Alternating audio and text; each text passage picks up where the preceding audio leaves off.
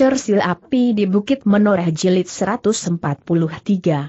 Namun dalam pada itu, datang saatnya Agung Sedayu mempergunakan kesempatan. Selagi lawannya yang merasa bahwa anak muda itu tidak akan mampu mendekatinya, tiba-tiba saja Agung Sedayu telah menyerangnya dengan cambuknya yang menggelepar dengan dahsyatnya. Sambil meloncat mendekat, Agung Sedayu menghentakkan cambuknya mendatar menyerang lambung. Lawannya terkejut. Namun ia masih sempat meloncat surut. Ia menganggap bahwa Agung Sedayu tidak akan berani memburunya karena udara yang panas. Tetapi dugaannya ternyata salah. Agung Sedayu ternyata meloncat mengejarnya, tanpa menghiraukan udara yang bagaikan membakar. Ketika sekali lagi cambuknya meledak, maka terasa ujung cambuk itu memercikan air. Justru yang terasa panas oleh ajar talpitu. Ajar Talpitu terkejut. Dicobanya menghentakkan ilmunya untuk menyemburkan panas di seputarnya. Namun Agung Sedayu yang disangkanya masih dipengaruhi oleh udara yang panas itu, telah mendesaknya dengan gerakan-gerakan yang cepat dan berbahaya. Anak setan, ajar Talpitu itu mengumpat. Sambil meloncat mundur ia berteriak, kau benar-benar memiliki ilmu iblis. Agung Sedayu tidak menjawab. Ia justru menyerang semakin dahsyat. Cambuknya berputaran dan sekali-sekali meledak menggetarkan darah di jantung lawannya. Dengan demikian maka pertempuran itu telah berubah. Ajar Talpitu yang merasa hampir menguasai lawannya sepenuhnya, ternyata harus melihat kenyataan. Udara yang panas itu, seakan-akan tidak terasa oleh Agung Sedayu yang mengeterapkan ilmu kebalnya. Meskipun demikian Agung Sedayu tidak melepaskan kewaspadaan. Ia masih menduga bahwa kemungkinan lain akan dapat terjadi. Jika lawannya masih memiliki ilmu yang lain, yang akan dapat mengejutkannya maka ia harus bersiap menghadapinya. Sejenak kemudian, ternyata Agung Sedayulah yang telah berhasil mendesak lawannya. Meskipun kekebalannya masih belum sepenuhnya dapat menghindarkannya dari udara yang dibakar oleh ilmu lawannya, namun ia mampu mengatasi perasaan panas jauh menembus ilmunya itu. Dengan cambuknya yang meledak melampaui dahsyatnya ledakan cambuk gurunya, Agung Sedayu berusaha mengurung kebebasan gerak lawannya. Putaran yang cepat dan ayunan tegak, benar-benar bagaikan memagari loncatan-loncatan lawannya yang cepat. Tetapi lawannya ternyata benar-benar seorang yang tangguh. Pedang di tangannya kadang-kadang terjulur lurus mengarah jantung. Meskipun ujung pedang itu tidak menyentuh kulitnya, tetapi rasa-rasanya jilatan api telah menyentuh tubuhnya, menembus ilmu kebalnya. Pedang ini sangat berbahaya, berkata Agung Sedayu di dalam hatinya. Sebenarnya lah Agung Sedayu pun kemudian berusaha untuk merampas pedang lawannya. Dengan tidak menghiraukan sentuhan api yang seakan-akan menyambar dari senjata lawanwa. Agung Sedayu mempergunakan ujung cambuknya untuk mengejar tangan lawannya yang menggenggam pedang. Anak ini memang gila, geram ajar Talpitu yang kemudian telah terdesak. Perubahan keseimbangan itu pun dapat dilihat pula oleh orang-orang jati anom yang lain. Kiai Gringsing telah menarik nafas dalam-dalam. Kegelisahannya bagaikan larut oleh curahan air hujan dari langit. Sementara kiwas kita jantungnya tidak lagi terasa berdentangan di dalam dadanya. Untara dan Widura pun melihat, bahwa Agung Sedayu telah berhasil menguasai keadaan. Bahkan Kiai Gringsing merasa bahwa jika perlu, Agung Sedayu masih akan mampu meningkatkan perlawanannya karena ia masih belum mempergunakan salah satu ilmunya yang dahsyat, ilmu yang memancar pada sorot matanya. Namun dalam pada itu, timbul pertanyaan pada Kiai Gringsing, kenapa ia tidak mempergunakannya? Tanda tanya. Sebenarnya lah, pada saat-saat sebelumnya, Agung Sedayu tidak mempunyai kesempatan untuk melakukannya. Jika ia berusaha untuk memaksa diri, memusatkan kemampuannya untuk melepaskan ilmunya, maka tubuhnya tentu akan menjadi hangus karena panasnya ilmu lawannya sebelum ia sempat meremas jantung lawannya. Namun dengan mengeterapkan ilmu kebalnya, maka meskipun sesaat tubuhnya bagaikan membara, namun demikian ia berhasil mengeterapkan ilmunya, tubuhnya justru terasa menjadi semakin dingin. Karena itu, setelah ia dapat mengatasi udara panas di seputarnya, maka memang timbul niatnya untuk sekaligus menghancurkan pertahanan lawannya dengan ilmunya yang mendebarkan. Ternyata dalam pada itu, Sabung Sari yang bertempur melawan tiga orang sekaligus itu pun mulai mempertimbangkan untuk melakukannya. Ternyata ia tidak setangkas Agung Sedayu dengan cambuknya dalam lambaran ilmu yang telah luluh di dalam dirinya. Karena itu, untuk dengan cepat mengatasi ketiga orang lawannya, maka Sabung Sari mulai memperhitungkan untuk mempergunakan ilmunya yang mirip dengan ilmu Agung Sedayu namun dalam tataran yang semakin ketinggalan. Namun dalam pada itu, Agung Sedayu yang telah mulai mempertimbangkan untuk melepaskan ilmunya yang serupa, mulai diganggu oleh kemampuan lain dari ajar talpitu. Karena ia tidak mampu lagi mempengaruhi anak muda itu dengan ilmunya yang mampu membakar udara, maka ajar Talpitu itu mulai dengan serangan-serangannya yang lain yang tidak kalah. Dasyatnya. Dalam keadaan yang gawat bagi ajar Talpitu itu, maka mulailah ia menyebut nama dirinya. Berbeda dengan kemampuan kiwas kita yang dapat menciptakan wujud dan peristiwa semu, maka ajar Talpitu itu seakan-akan dapat melakukan sesuatu yang tidak masuk akal dengan wadaknya. Namun Agung Sedayu sudah memperhitungkannya. Pisau-pisau kecil itu tentu bukan tidak berarti dalam keadaan yang sulit. Ternyata bahwa ajar talpitu itu memiliki kemampuan bergerak dengan kecepatan yang sulit untuk dimengerti. Seperti yang dikatakannya, ia dalam sekejap dapat melontarkan beberapa buah pisau beruntun. Susul menyusul seperti pancaran air. Tetapi sebagaimana ajar talpitu dapat melakukannya, maka Agung Sedayu pun dapat melakukan sesuatu yang sulit dimengerti pula oleh Ajar Talpitu. Demikian tangan Ajar Talpitu itu mulai melepaskan pisau-pisaunya, maka ujung cambuk Agung Sedayu pun mulai menggelepar, seakan-akan telah berubah menjadi cambuk yang berjuntai bercabang-cabang yang mampu bergerak sendiri-sendiri memungut pisau-pisau kecil yang begitu terlepas dari tangan lawannya. Iblis, genderuwo, tetekan, ajar talpitu itu mengumpat-umpat. Ternyata anak muda itu benar-benar menguasai medan. Ia tidak hanya sekedar dapat menjadi sasaran pengamatannya. Tetapi anak muda itu benar-benar mampu mengimbangi ilmunya. Karena itulah, maka ajar talpitu itu menjadi bagaikan telah kepancingan. Kemarahannya benar-benar tidak terbendung lagi. Tangan kirinya yang mampu bergerak, seperti tangan kanannya, telah menggenggam pedangnya. Kemudian sekali lagi dari tangannya menghambur beberapa buah pisau, namun yang sekali lagi pisau-pisau itu pun telah terpelanting karena sentuhan ujung cambuk agung sedayu demikian pisau itu lepas dari tangan. Namun ajar talpitu masih belum puas. Ia pun tiba-tiba saja telah meloncat surut. Disarungkannya pedangnya. Kemudian kedua belah tangannya telah bergerak bersama-sama melontarkan pisau-pisau kecil yang bagaikan tidak habis-habisnya itu. Tetapi sekali lagi ajar talp itu kecewa.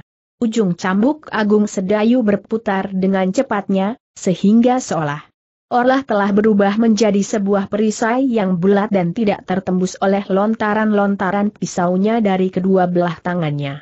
Sekali lagi ajar talp itu mengumpat-umpat ia harus mengakui kenyataan yang dihadapinya. Seorang anak yang masih muda, namun yang memiliki ilmu yang tiada taranya. Ajar Talpitu yang sudah menjajagi kemampuan Agung Sedayu dengan ilmunya yang ada maupun yang halus, menyadari bahwa anak muda itu mampu mengatasinya.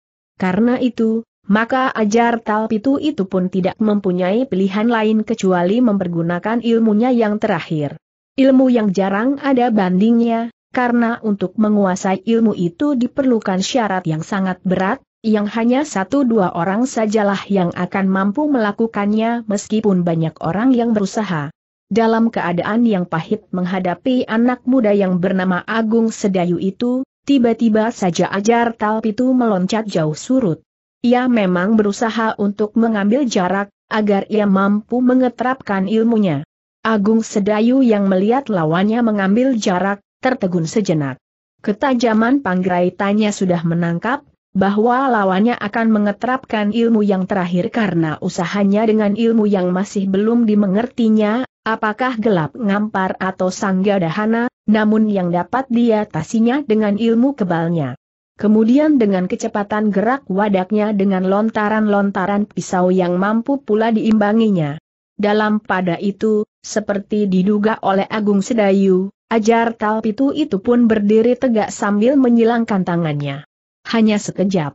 Dalam pada itu Agung Sedayu terkejut melihat ajar talpitu itu pun seolah-olah mekar dan tumbuh dari dirinya, wujud yang serupa benar dengan dirinya dalam sikap yang sama. Seorang di sebelah kiri dan seorang di sebelah kanan. Bukan main, geram Agung Sedayu, inilah ilmu kakang pembaret dan Adi Wuragil. Sekejap Agung Sedayu justru terpukau oleh wujud itu.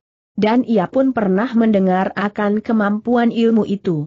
Dengan demikian ia benar-benar berhadapan dengan kelipatan tiga dari kemampuan lawannya, karena kedua wujud itu akan mampu melakukan seperti apa yang dilakukan oleh ajar talpitu itu sendiri.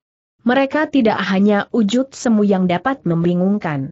Tetapi ilmu itu memiliki kelebihan dari ujud-ujud dan peristiwa-peristiwa semu karena ujud-ujud itu benar-benar akan mampu berbuat sesuatu dengan akibat kewadagan. Ujud-ujud itu akan dapat berdiri pada jarak terpisah dan bersama-sama melontarkan pisau-pisaunya. Jika pisau-pisau itu mengenainya, maka pisau-pisau itu mempunyai akibat yang sama dari pisau ajar talpitu yang sewajarnya. Agung Sedayu sejenak menjadi ragu-ragu. Ilmu yang manakah yang paling baik dipergunakan untuk melawan kemampuan lawannya yang ternyata sangat menggetarkan jantung itu? Apakah ilmu kebal yang masih belum mapan ini akan dapat melawan kekuatan daya lontar tangan ajar talpitu? Pertanyaan itu tumbuh di hati Agung Sedayu. Untuk melawan seorang ajar talpitu ia mampu memungut pisau-pisau itu seolah-olah langsung dari tangannya. Tetapi untuk melawan tiga orang ajar talpitu yang mampu bergerak dengan kecepatan yang sama, maka ia akan mengalami kesulitan. Dalam pada itu bukan saja Agung Sedayu yang menjadi berdebar-debar melihat ilmu lawannya. Namun orang-orang lain yang hadir di arena pertempuran itu pun menjadi gelisah. Jika semula mereka merasa bahwa Agung Sedayu akan dapat menguasai keadaan, maka mereka mulai ragu-ragu kembali. Bahkan mereka mulai dibayangi oleh kekhawatiran. Ki Pringgajaya yang kemudian menyebut dirinya Ki Partasan Jaya itu pun menjadi berdebar-debar. Di luar sadarnya ia pun berdesis, Kakang Pembaret dan Adi Wuragil. Jarang orang yang dapat melawannya. Ternyata iblis Talpitu itu memiliki ilmu yang dahsyat itu. Dalam pada itu, Ki Waskita pun menjadi sangat cemas. Ia tidak akan mampu membantu Agung Sedayu dengan ujud-ujud semuanya, karena ketiga ujud ajar Talpitu dalam ilmunya yang dahsyat itu memiliki ketajaman penglihatan yang sama, sehingga ketiganya akan dapat dengan mudah membedakan ujud-ujud semu dan ujud sebenarnya. Namun dalam pada itu, Agung Sedayu tidak akan menyerah terhadap kenyataan itu. Apa pun yang terjadi, ia harus melawannya dengan ilmu yang ada padanya. Karena itu, Agung Sedayu pun mulai mempertimbangkan segala kemungkinan. Perlahan-lahan ia tidak akan melepaskan ilmu kebal yang sudah diterapkannya, agar ia tidak terbakar oleh ilmu gelap ngampar atau sangga dahana yang akan menjadi berlipat. Bahkan ia ingin mencoba untuk mengetahui, apakah ilmu kebalnya cukup kuat untuk melawan lontaran pisau ajar talpitu dalam wujud yang mana pun juga.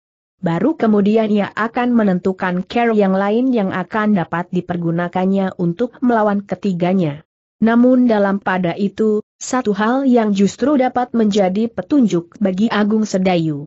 Ketika ketiga wujud ajar talpitu itu mulai bergerak, maka mereka pun berusaha untuk membaurkan diri, sehingga dengan demikian lawannya akan sulit untuk mengetahui, yang manakah ajar talpitu yang sebenarnya, dan yang manakah wujud-wujud yang hadir kemudian karena kemampuan ilmunya.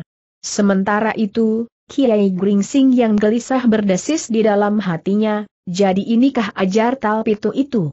Ternyata ilmu yang terakhir dari ajar Talpitu itu telah memperkenalkan orang itu kepada Kiai Gringsing, atau jika bukan ajar Talpitu itu sendiri, juga perguruannya, karena Kiai Gringsing juga pernah mengenal jenis ilmu itu.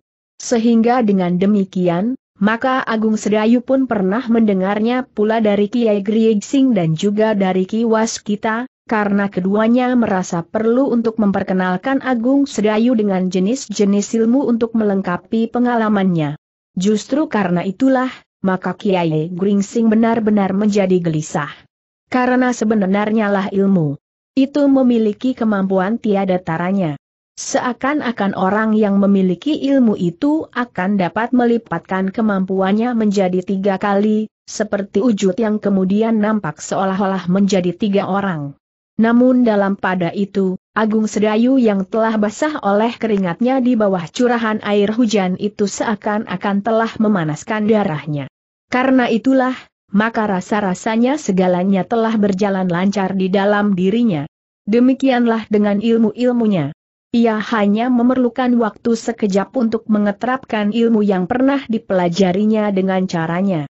Usaha ketiga wujud lawannya untuk membaurkan diri ternyata telah menjadi petunjuk bagi Agung Sedayu, bahwa ketiga wujud itu menganggap perlu untuk menyembunyikan siapakah yang asli di antara mereka. Dengan demikian, maka Agung Sedayu harus berusaha untuk dapat menemukannya.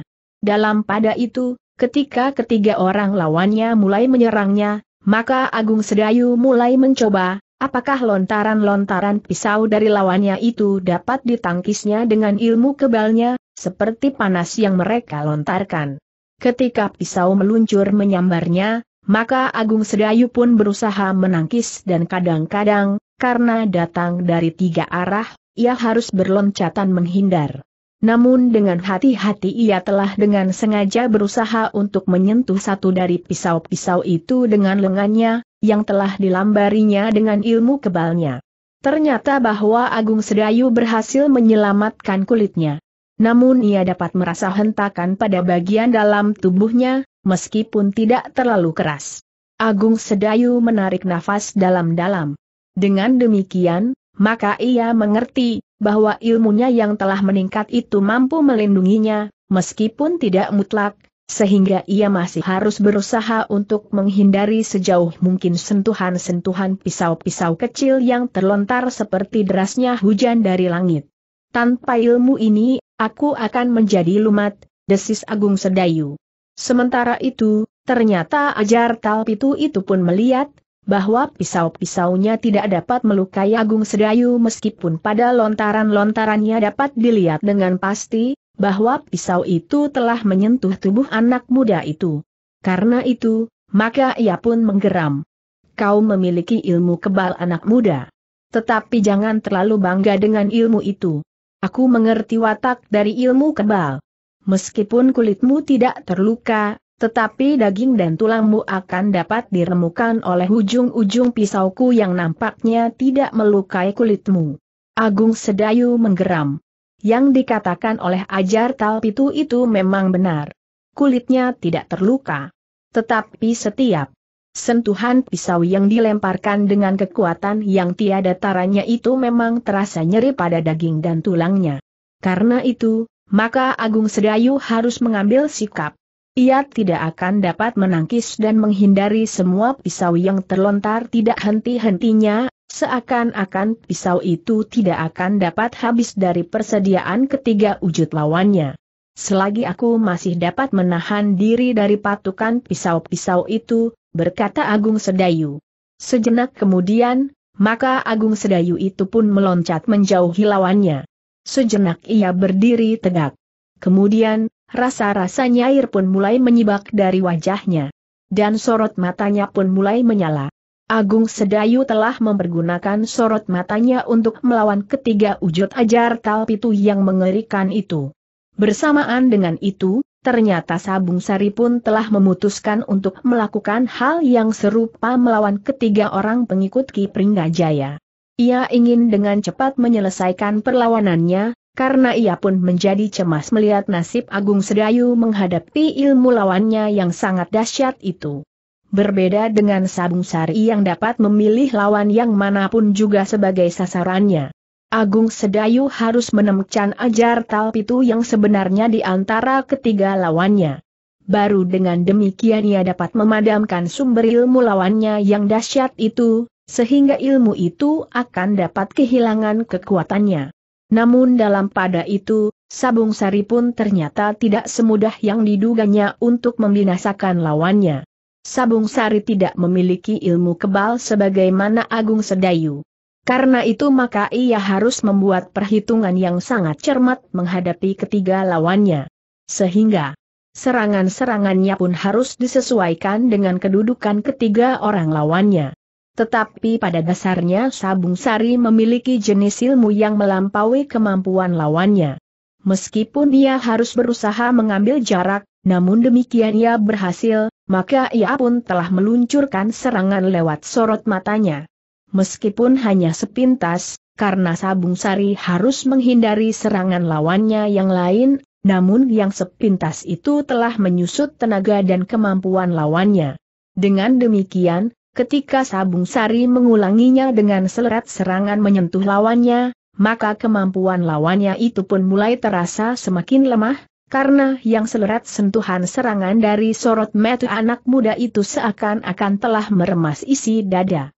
Karena itulah, maka dengan pasti, Sabung Sari akan dapat mengalahkan lawannya meskipun perlahan-lahan. Gelagah putih ternyata tidak sia-sia menempa dirinya dengan sungguh-sungguh di padepokan. Meskipun ia masih sangat muda, tetapi ternyata bahwa ia telah mempunyai kemampuan melampaui lawannya yang garang, sehingga dengan demikian, maka ia pun telah mendesak lawannya itu. Dalam pada itu, Agung Sedayu pun harus mengambil sikap yang tepat untuk tidak terjerumus ke dalam kesulitan menghadapi ilmu lawannya. Namun Agung Sedayu yang dilindungi oleh ilmu kebalnya itu pun mencoba untuk membuat perhitungan. Ia harus mencari satu di antara ketiga orang lawannya itu. Ajar talpitu yang sebenarnya. Tetapi ia pun sadar, bahwa dalam pada itu, lawannya tentu akan menyerangnya dengan kemampuan yang tiada taranya itu. Ketiganya tentu akan membakarnya dengan panas yang dapat dipancurkan lewat ilmunya dan lontaran-lontaran pisau-pisau kecil dengan keterampilan tangannya dan kekuatan daya lontar yang luar biasa. Setelah beberapa kali Agung Sedayu dikenai oleh pisau-pisau kecil lawannya di dalam selubung ilmu kebalnya, maka akhirnya ia memutuskan untuk melakukan bagian yang paling berbahaya dari benturan ilmu yang garang itu. Meskipun ia akan merasa sakit dan panas, tetapi jauh lebih ringan dari rasa sakit dan nyeri itu sendiri karena ia memiliki ilmu kebal. Sementara itu, ia harus dapat mencari dan menemukan ajar talpitu yang sebenarnya. Agung Sedayu pun sadar, bahwa ia harus berpacu dengan waktu. Jika ia terlambat, maka akibatnya akan parah baginya. Atas dasar perhitungan itulah, maka sorot matanya yang mulai menyalakan ilmunya itu pun mulai memancar ke arah lawannya. Sambil berdiri tegak dengan tangan bersilang, ia memandang dengan lontaran ilmunya yang dahsyat lewat sorot matanya. Serangannya itu diarahkan kepada salah seorang wujud ajar talpitu yang seakan-akan paling garang di antara ketiga wujud itu. Wujud yang paling dekat berdiri di sebelahnya dengan lontaran-lontaran pisau yang seakan-akan tidak terhitung jumlahnya. Dalam pada itu, Agung Sedayu telah melepaskan usahanya untuk menghindar dan menangkis serangan-serangan itu, karena ia sedang memusatkan kemampuan lahir batin pada ilmu kebalnya dan pada serangan lewat sorot matanya. Sejenak kemudian, barulah Agung Sedayu menyadari, bahwa ia telah menyerang wujud yang salah. Ajar Talpitu itu seakan-akan tidak merasa sama sekali sentuhan serangan sorot matanya. Bahkan wujud itu berdiri semakin dekat dan melontarkan pisaunya pada jarak yang sangat pendek, sehingga lontaran itu benar-benar terasa sakit oleh Agung. Sedayu yang dilindungi oleh ilmu kebal itu, meskipun pisau-pisau itu tidak menembus kulitnya. Menyadari kesalahan itu, maka Agung Sedayu pun telah memindahkan serangannya pada wujud yang kedua. Namun seperti yang pertama maka wujud yang kedua ini seakan-akan tidak terpengaruh sama. sekali oleh serangan sorot matanya. Seperti wujud yang pertama-tama maka wujud yang kedua ini justru merasa leluasa untuk menyerangnya. Bahkan ternyata wujud itu telah melakukan sesuatu yang sangat berbahaya bagi Agung Sedayu, karena wujud itu telah menarik pedangnya yang seolah-olah menyala. Sejenak Agung Sedayu disambar oleh keragu-raguan. Apakah lawannya juga memiliki kekebalan sehingga sorot matanya tidak mampu menyentuhnya? Tetapi Agung Sedayu masih tetap berusaha. Ia melihat wujud yang ketiga. Wujud yang agak kurang garang dari kedua wujud yang lain. Namun Panggraita Agung Sedayu cukup tajam untuk justru menduga bahwa wujud ketiga itu adalah ajar talpilu yang sebenarnya. Karena itu, maka ia pun berusaha menyerangnya pula dengan sorot matanya sambil berdiri tegak dengan tangan bersilang di dada. Dalam pada itu, Kedua wujud yang lain itu pun menyerangnya pula dengan garangnya. Yang satu telah melemparinya dengan pisau-pisau kecil ke arah jantungnya, sementara yang lain justru dengan pedangnya yang bagaikan menyala.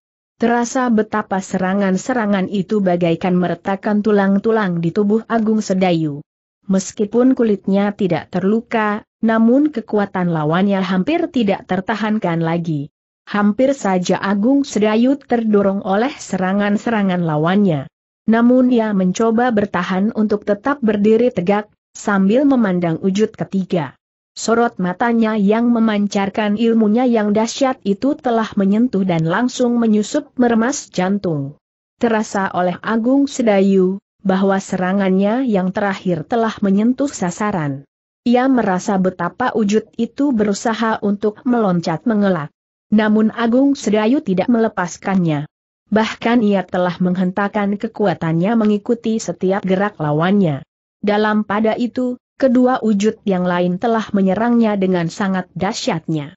Yang melemparinya dengan pisau itu pun telah menarik pedangnya pula. Namun sementara itu, Agung Sedayu seakan-akan tidak menghiraukannya. Tetapi ia tidak mau melepaskan cengkeraman sorot matanya kepada lawannya. Agung Sedayu melihat dan merasa, wujud yang satu itu berusaha untuk menjauhinya.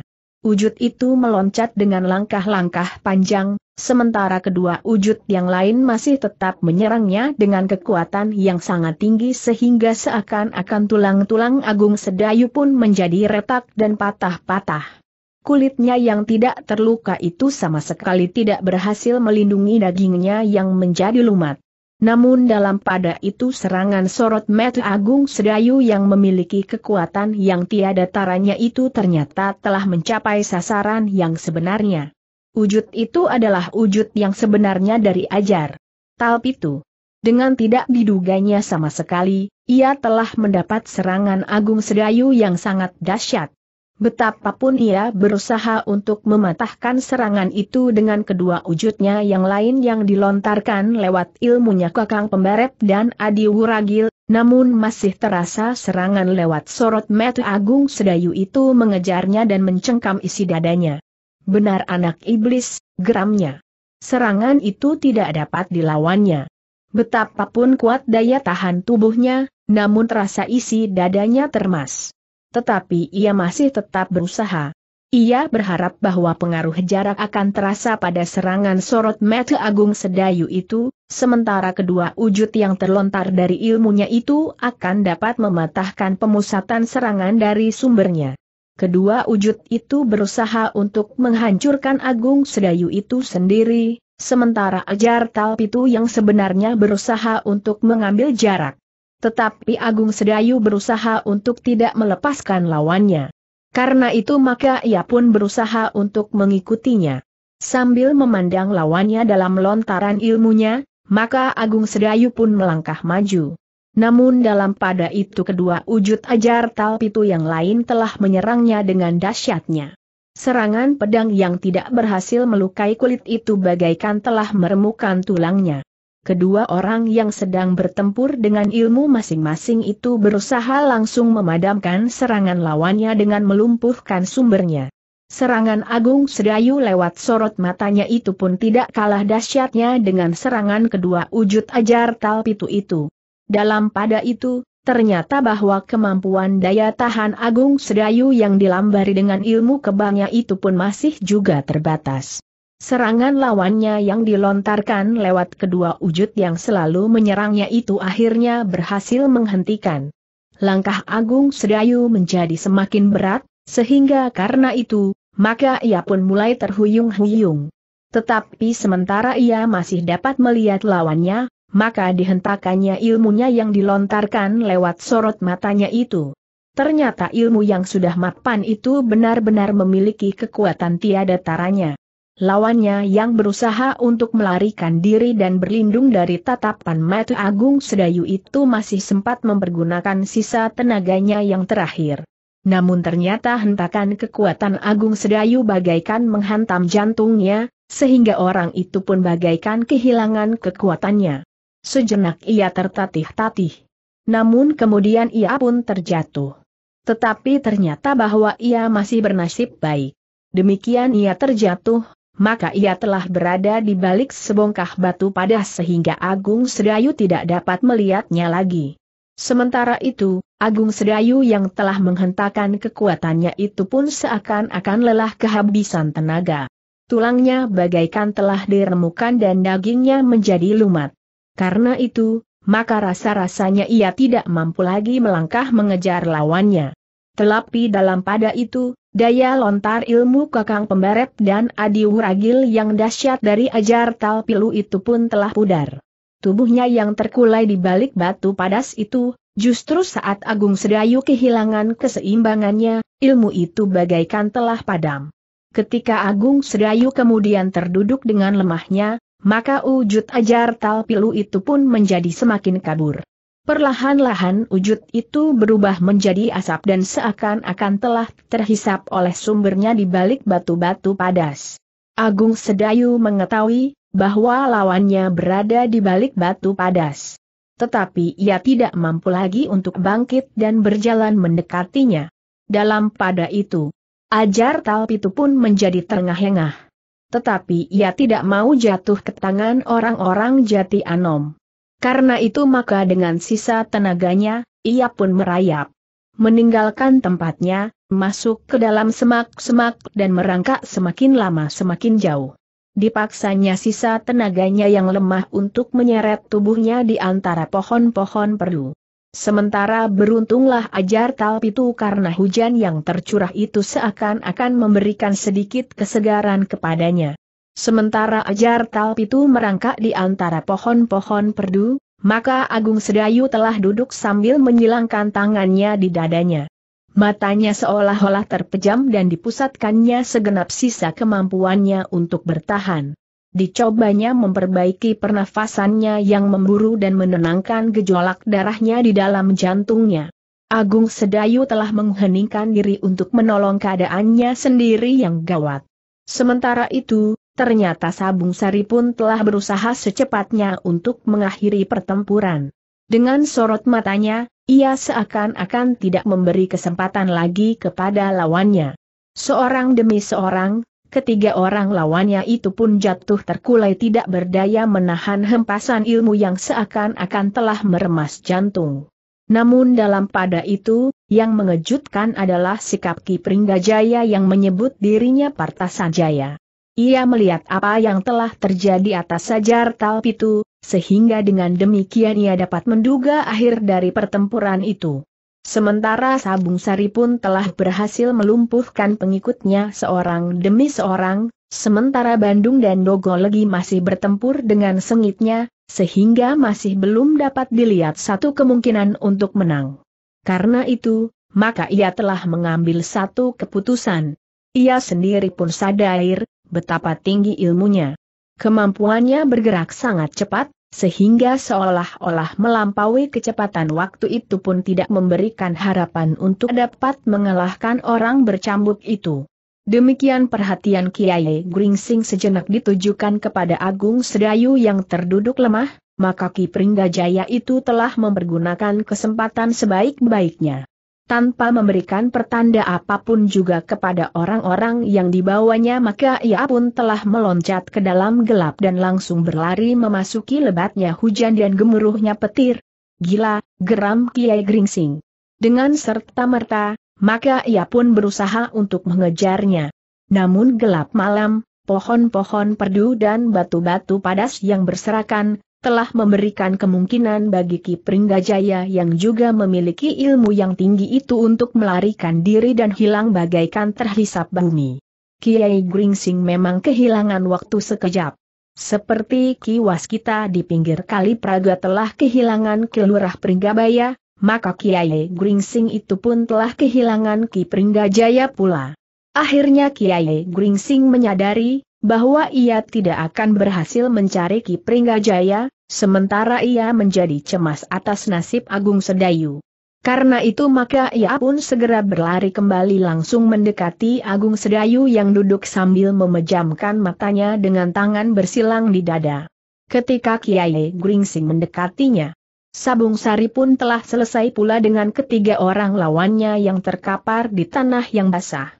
Sementara itu, maka ia pun dengan tergesa-gesa telah mendekati Agung Sedayu pula dan kemudian berjongkok di samping Kiai Gringsing. Ia akan berhasil, desis Kiai Gringsing. Sabung Sari mengangguk-angguk kecil. Sementara Kiai Gringsing berkata, tungguilah. Jangan diganggu. Sekali lagi Sabung Sari mengangguk. Sementara itu Kiai Gringsing pun kemudian bangkit dan meninggalkan Agung Sedayu yang sedang berusaha untuk membenahi diri, ditunggui oleh Sabung Sari. Dalam pada itu, Kiai Gringsing sempat melihat bahwa ternyata gelagah putih sudah cukup mampu menyelamatkan diri sendiri. Ia justru berhasil mendesak lawannya, seseorang yang telah memiliki pengalaman yang cukup di lingkungan kerasnya olah kanuragan. Karena itu, maka Kiai Gringsing tidak ingin mengganggunya. Ia tidak akan membuat gelagah putih kecewa. Sementara ia pun akan dapat melihat, sikap gelagah putih terhadap lawannya yang dikalahkannya. Yang masih bertempur dengan sengitnya adalah Untara melawan Bandung yang memang sudah dipersiapkan untuk membunuhnya. Di putaran pertempuran yang lain, Widura bertempur pula dengan serunya. Seperti Bandung, Dogolegi pun memang dipersiapkan untuk melawan Widura. Bekas prajurit yang dianggap sudah menjadi semakin tua. Namun ternyata penilaian Pringgajaya terhadap Untara dan Widura masih kurang cermat. Ki Pringgajaya menduga, bahwa justru karena kewajibannya, Untara tidak sempat berbuat bagi dirinya sendiri, apalagi berusaha untuk meningkatkan ilmunya. Tetapi ternyata bahwa Untara jauh melampaui dugaannya, sehingga Bandung tidak dapat mengalahkannya, apalagi membunuhnya. Demikian Diogolegi yang berhadapan dengan Widura. Rasa-rasanya ia memang dijerumuskan ke dalam putaran kekuatan yang tidak diduganya. Sementara itu, ketiga lawan kiwas kita justru sudah kehilangan gairah untuk bertempur. Apalagi mereka menyadari, bahwa gurunya telah meninggalkan mereka begitu saja, sehingga mereka benar-benar menjadi kecewa. Mereka pun tidak akan dapat mengingkari kenyataan, bahwa yang akan menjadi lawan mereka adalah orang-orang yang pilih tanding, yang memiliki kemampuan setingkat dengan gurunya. Jika semula mereka bertiga yang dianggap oleh Ajar Talpitu sebagai murid terbaik yang memiliki kekuatan yang dapat dibanggakan, karena segala macam ilmu gurunya telah tertumpah kepada mereka, namun yang masih harus dikembangkan, tetapi yang ternyata ketiganya tidak berdaya berhadapan dengan kiwas kita. Sejenak Kiai Gringsing termangu-mangu. Ia menjadi bimbang, apakah yang harus dilakukannya. Jika ia membantu salah seorang dari antara mereka yang bertempur, apakah tidak justru menyinggung perasaan namun dalam pada itu sebelum Kiai Gringsing bertindak lebih jauh, maka ia melihat, lawan untara lelah terdesak sehingga tidak lagi sempat menyerang. Dengan sisa kemampuannya ia mencoba bertahan. Namun keadaan tidak menguntungkannya sama sekali. Ki Pringgajaya begitu saja meninggalkannya, seperti ajar Talpitu yang lari tanpa menghiraukan murid-muridnya. Karena kenyataan itulah, maka pertempuran itu semakin lama menjadi semakin kendor. Bandung dan Dogol lagi merasa tidak perlu lagi mempertaruhkan nyawanya bagi orang-orang yang mereka anggap justru telah menjerumuskannya. Dengan demikian, maka tidak ada pilihan lain lagi bagi mereka kecuali mengambil jalan yang paling pendek untuk menyelamatkan diri. Mereka yakin bahwa mereka tidak akan mampu melarikan diri dari Arna itu, justru beberapa orang yang memiliki ilmu yang tinggi telah bebas dari lawan-lawan mereka. Karena itu, maka Bandunglah yang mula-mula berani mengambil sikap. Ketika ia sempat meloncat menjauhi lawannya, maka ia pun telah melemparkan senjata sambil berkata, aku menyerah. Untara tertegun sejenak. Dipandanginya lawannya dengan sorot metu kemarahan. Namun ternyata bahwa Untara masih tetap seorang senapati. Demikian lawannya menyerah, betapapun kemarahan membakar jantungnya, maka ia pun kemudian telah menahan diri untuk tidak berbuat sesuatu. Karena Bandung menyerah, maka yang lain pun telah mengambil sikap serupa. Sepeninggal Ki Pringgajaya yang menyebut dirinya Partasan Jaya itu maka tidak akan ada artinya lagi, apa pun yang mereka lakukan. Juga ketiga orang murid Talpitu yang telah kehilangan gurunya itu pun tidak lagi berniat untuk melawan lebih lama lagi. Dengan demikian, maka satu demi satu, mereka yang masih bertempur beberapa saat itu pun telah menyerah. Bahkan lawan gelagah putih pun telah menyerah pula.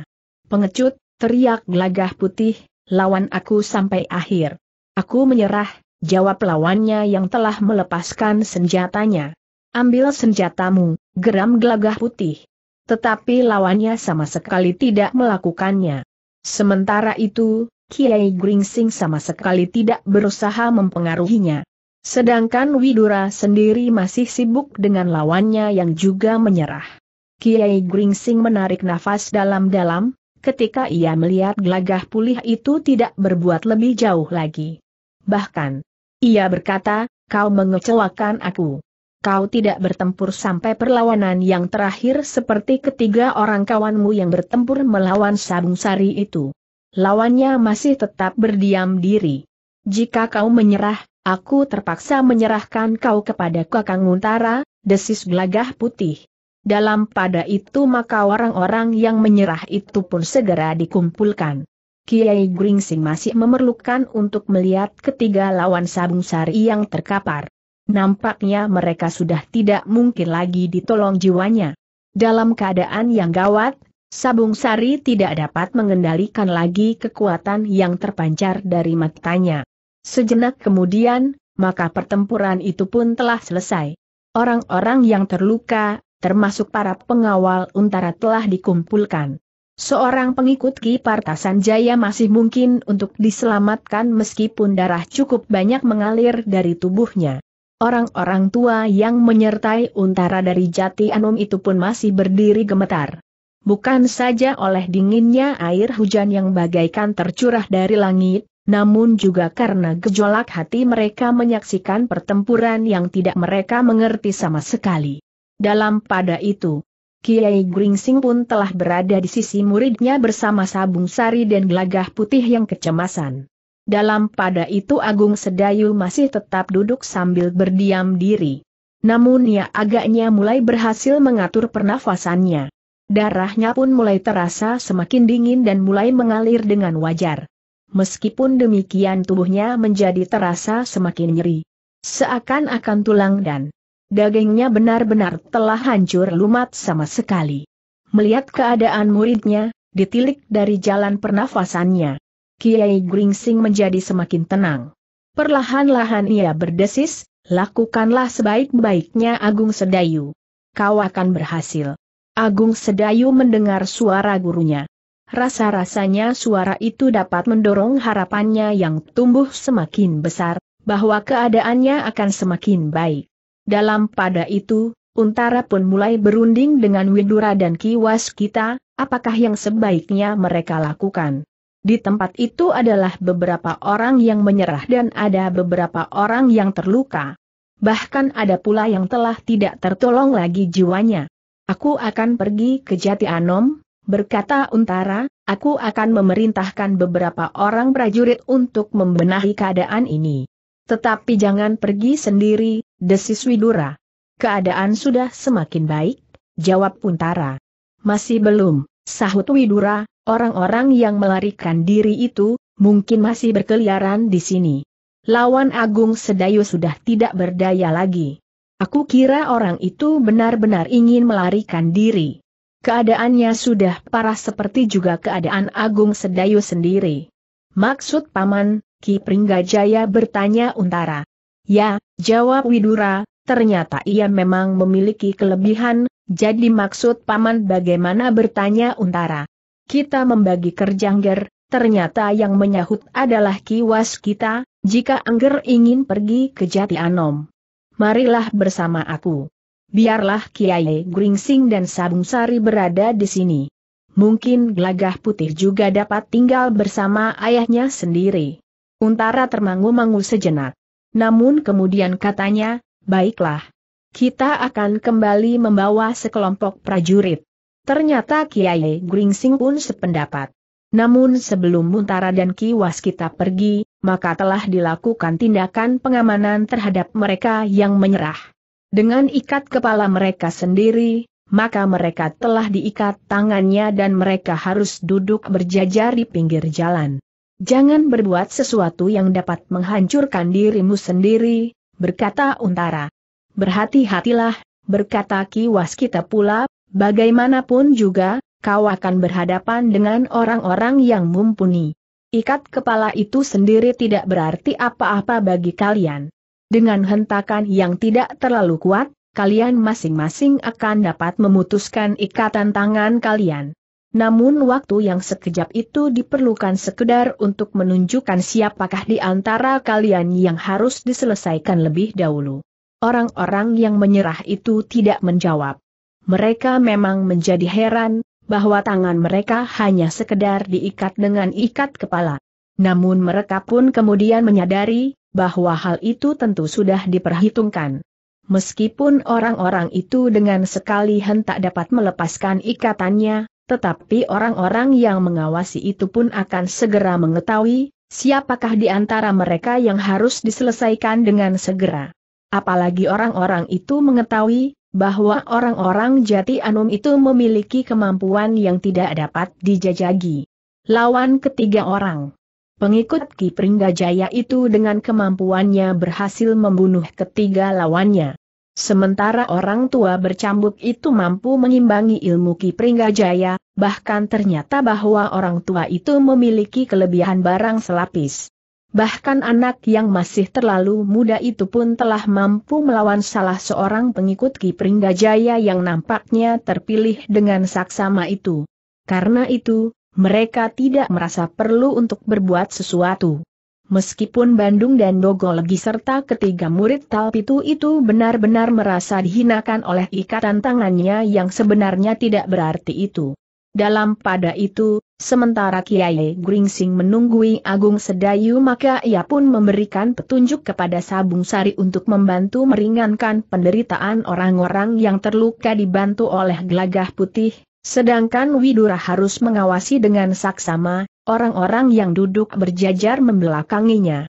Sejenak kemudian beberapa ekor kuda telah berderap menyusup lebatnya hujan yang masih belum mereda. Angin masih bertiup dengan kencang, sementara lidah api menjilat-jilat di langit. Orang-orang tua yang ikut bersama Untara pergi ke sangkal putung itu pun telah dipersilahkan untuk mendahului bersama Untara dan Kiwas kita, agar mereka tidak membeku kedinginan.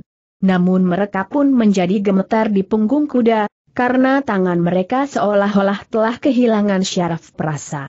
Dalam pada itu, maka jarak yang sudah terlalu pendek itu, dapat mereka lalui dengan selamat. Ternyata orang yang paling dicemaskan, Ki Pringgajaya, tidak menunggu mereka di pinggir jalan. Kedatangan Untara dalam hujan yang lebat itu memang mengejutkan.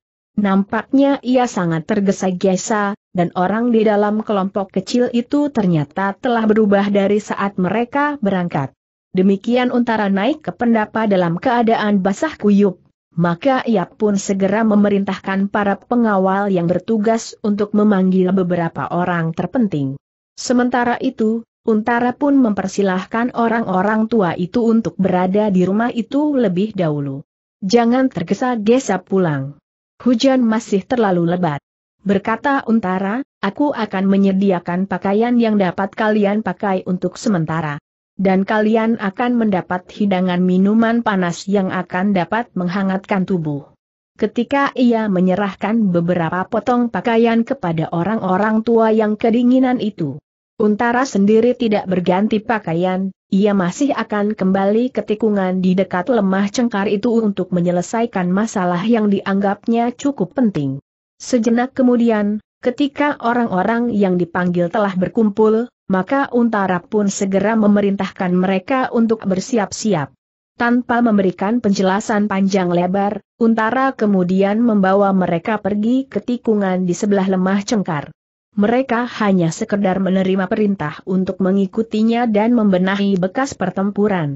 Prajurit-prajurit itu pun tidak terlalu banyak bertanya.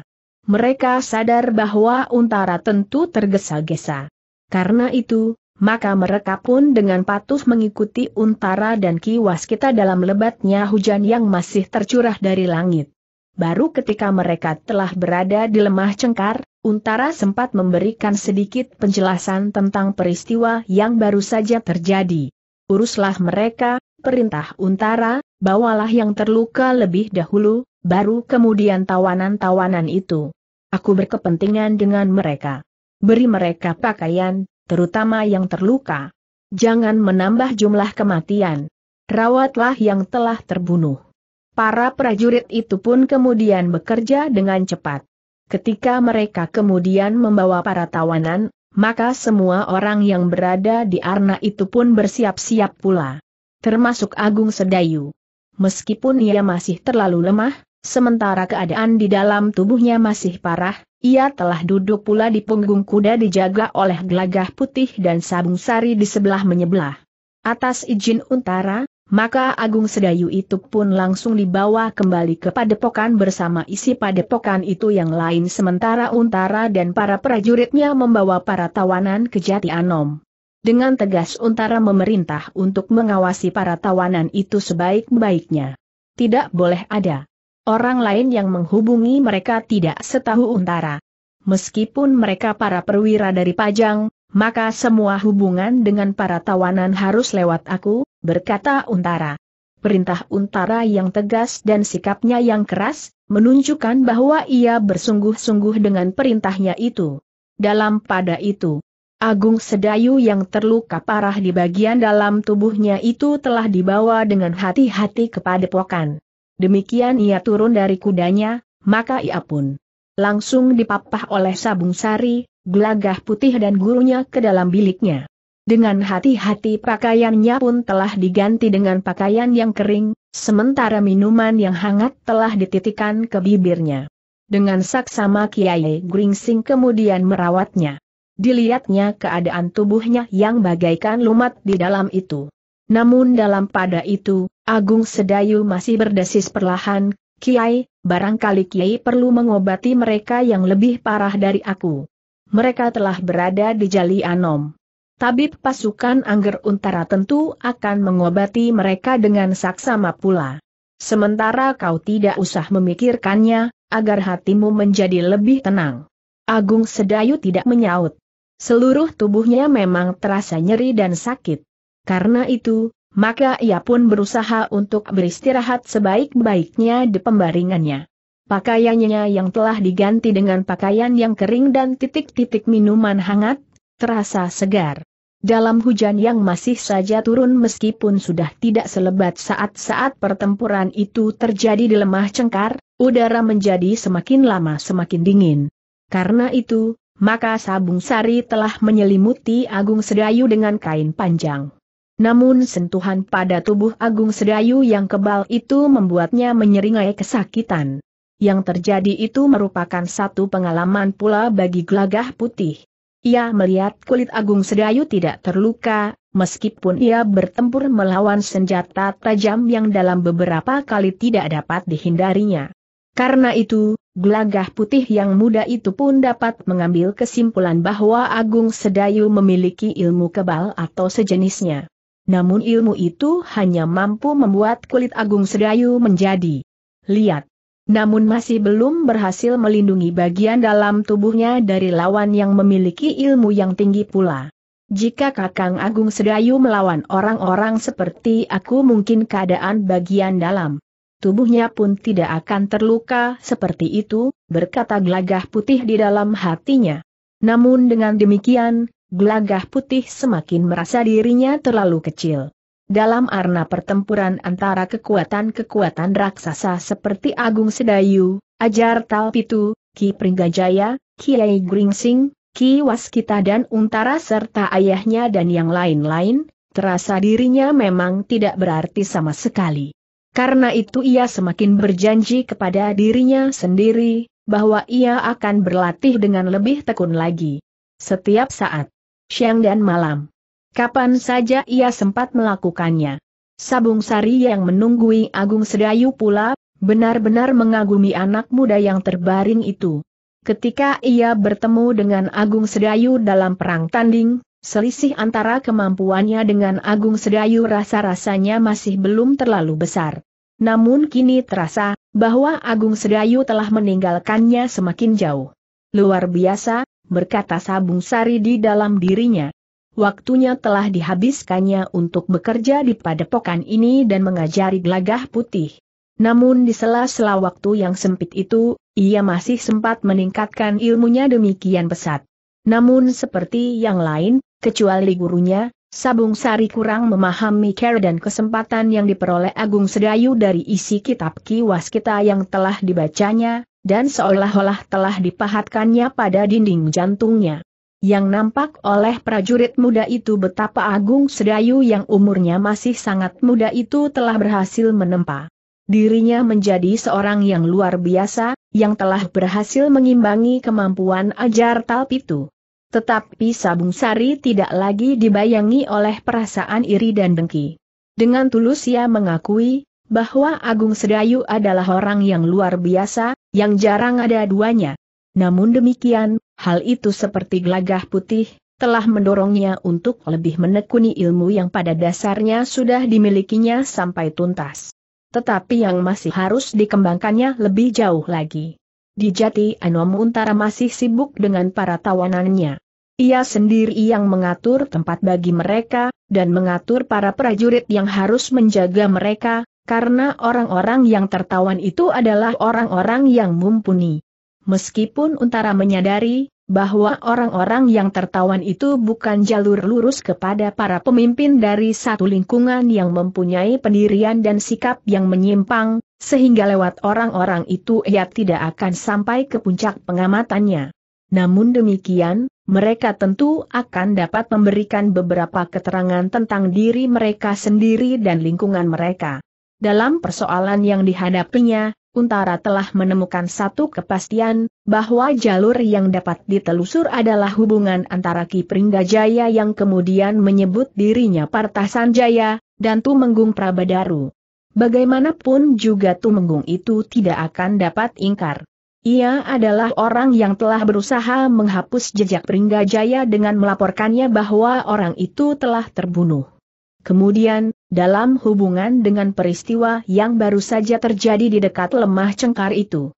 Tetapi ia tidak akan dapat langsung mempersoalkan Tumenggung Prabadaru. Ia yakin, bahwa Tumenggung itu tentu mempunyai kekuatan yang cukup untuk melindungi tingkah lakunya. Perjalanannya ke daerah timur memang harus dipersoalkan, berkata Untara kepada diri sendiri. Untara mulai curiga, bahwa kepergian Tumenggung Prabadaru ke daerah timur adalah dalam rangka memperkuat kedudukan golongannya dalam pandangan mata para adipati di daerah timur. Dengan segala macam pertimbangan, maka Untara menyadari, bahwa ia harus bersikap hati-hati. Dalam pada itu, ketika para tawanan itu sedang diatur dan kepada mereka diberikan pakaian kering untuk mengganti pakaian mereka yang basah kuyup, maka di lemah cengkar, Ki Pringgajaya sedang sibuk merawat ajar Talpitu yang pingsan.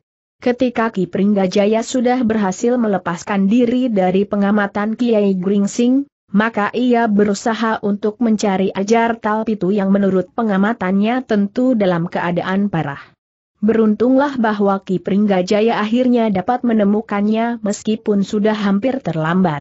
Demikian orang-orang Jati Anom meninggalkan tikungan maka Ki Pringgajaya telah kembali ke tempat itu serta berusaha mengikuti jejak ajar Talpitu. Ranting-ranting perdu yang patah dan batang-batang ilalang yang seakan-akan terseret tubuh ajar Talpitu yang lemah itu telah menuntun Ki Pringgajaya untuk mengikuti jejaknya. Sehingga akhirnya Ki Pringgajaya itu pun dapat menemukan ajar Talpitu yang pingsan. Orang ini memiliki ketahanan tubuh yang luar biasa. Gumam Ki Pringgajaya, dalam keadaan yang parah, ia berhasil menyingkir cukup jauh dari lawannya yang berilmu iblis. Adalah tidak dapat dimengerti, bagaimana mungkin Agung Sedayu dapat mengalahkan ajar Talpitu. Namun yang terjadi itu adalah satu kenyataan. Ajar Talpitu tidak dapat mengalahkan Agung Sedayu meskipun ia berhasil melarikan diri. Sementara Ki Pringgajaya itu pun tahu, bahwa keadaan Agung Sedayu sendiri tentu juga menjadi sangat buruk, hampir seburuk keadaan Ajar Talpilu itu sendiri. Dengan hati-hati, Ki Pringgajaya berusaha untuk menolong Ajar Talpitu. Hujan yang sudah mereda, masih jatuh satu-satu. Titik air yang kemudian diusapkan pada bibir Ajar Talpitu membuatnya menjadi sedikit segar. Ketika ajar Talpilu itu kemudian membuka matanya, maka yang dilihatnya adalah malam yang pekat. Hujan masih belum berhenti meskipun sudah jauh berkurang. Namun langit masih nampak gelap merata dari ujung sampai ke ujung. Ki ajar Talpitu itu berdesis lambat sekali, siapa kau Partasan Jaya, maksudku Pringgajaya. Kau kenal namaku.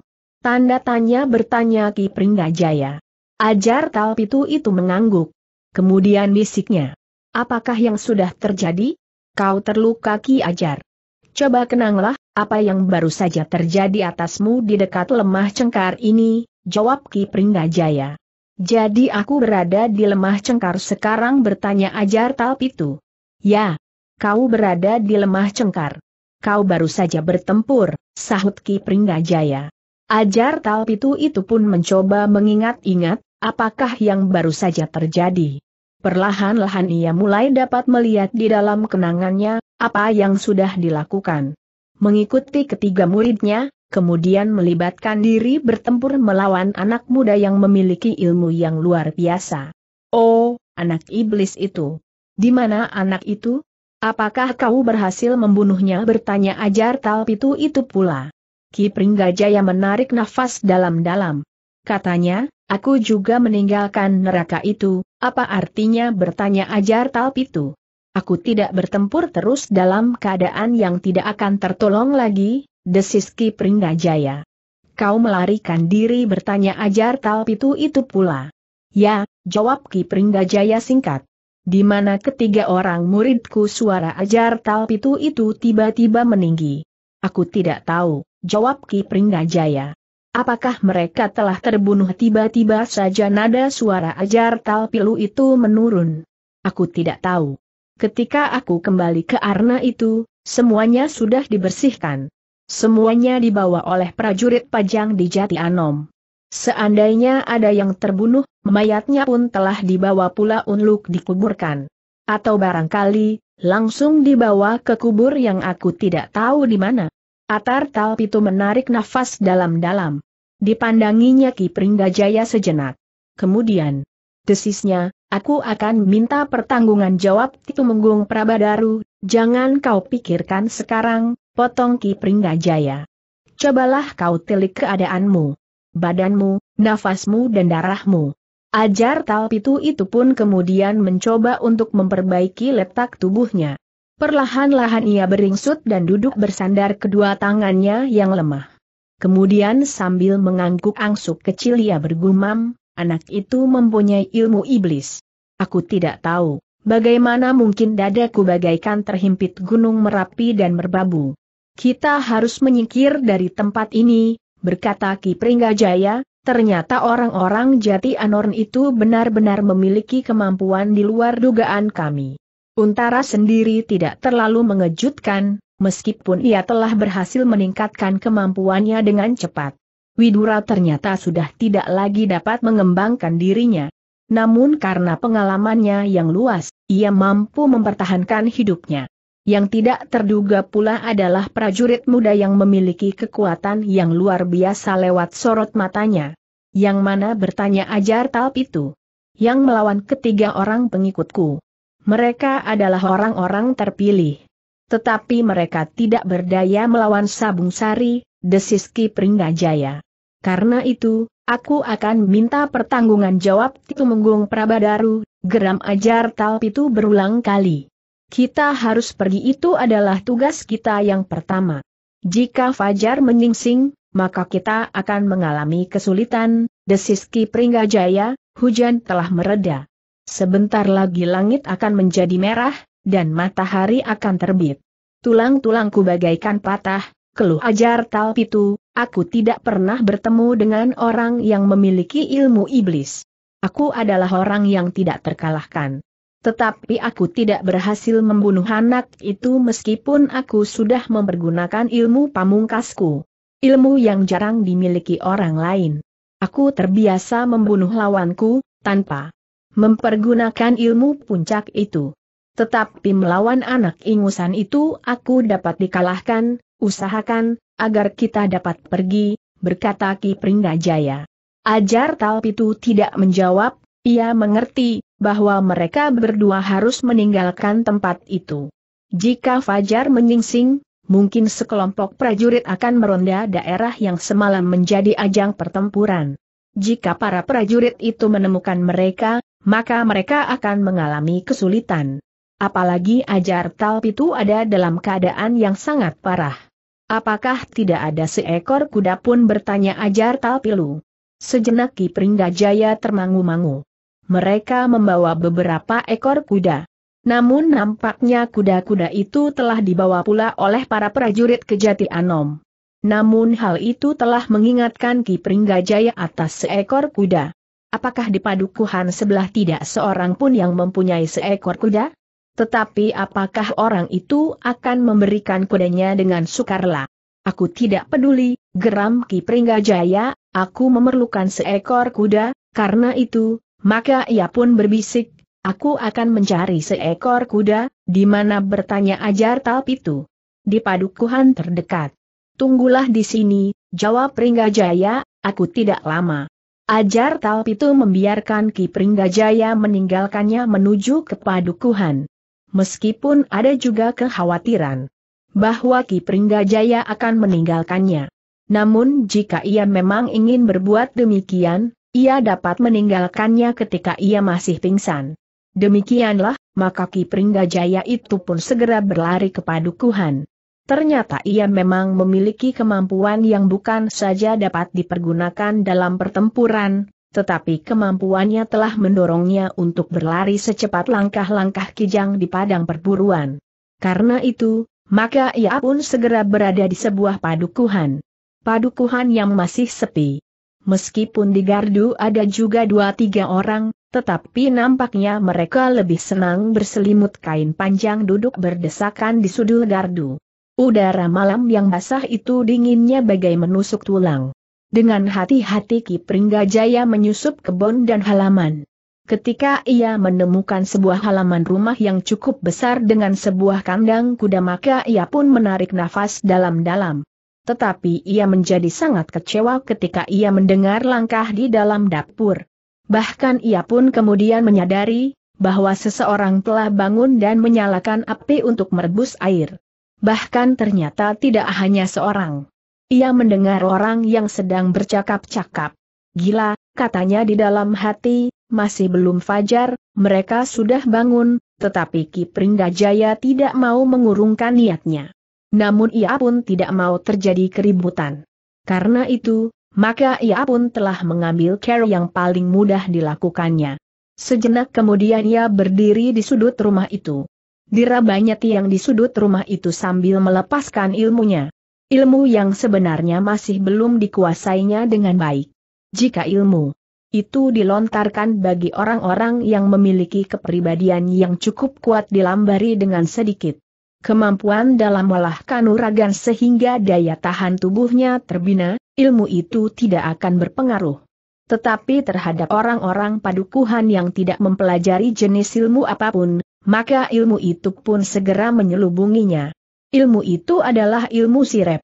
Orang-orang yang harus saja terbangun itu pun tiba-tiba telah tidak lagi dapat bertahan. Bahkan rasa-rasanya mereka tidak sempat kembali ke biliknya, sehingga mereka menjatuhkan diri di mana pun mereka sedang berada. Seorang telah berbaring di sebuah amben di dapur, seorang di amben bambu yang besar di ruang tengah dan seorang lagi yang sedang bersiap-siap untuk kepakiwan, telah tertidur di lincak panjang di serambi belakang. Dengan demikian, maka Ki Pringgajaya tidak mendapat kesulitan lagi untuk mengambil seekor kuda dari kandang orang itu.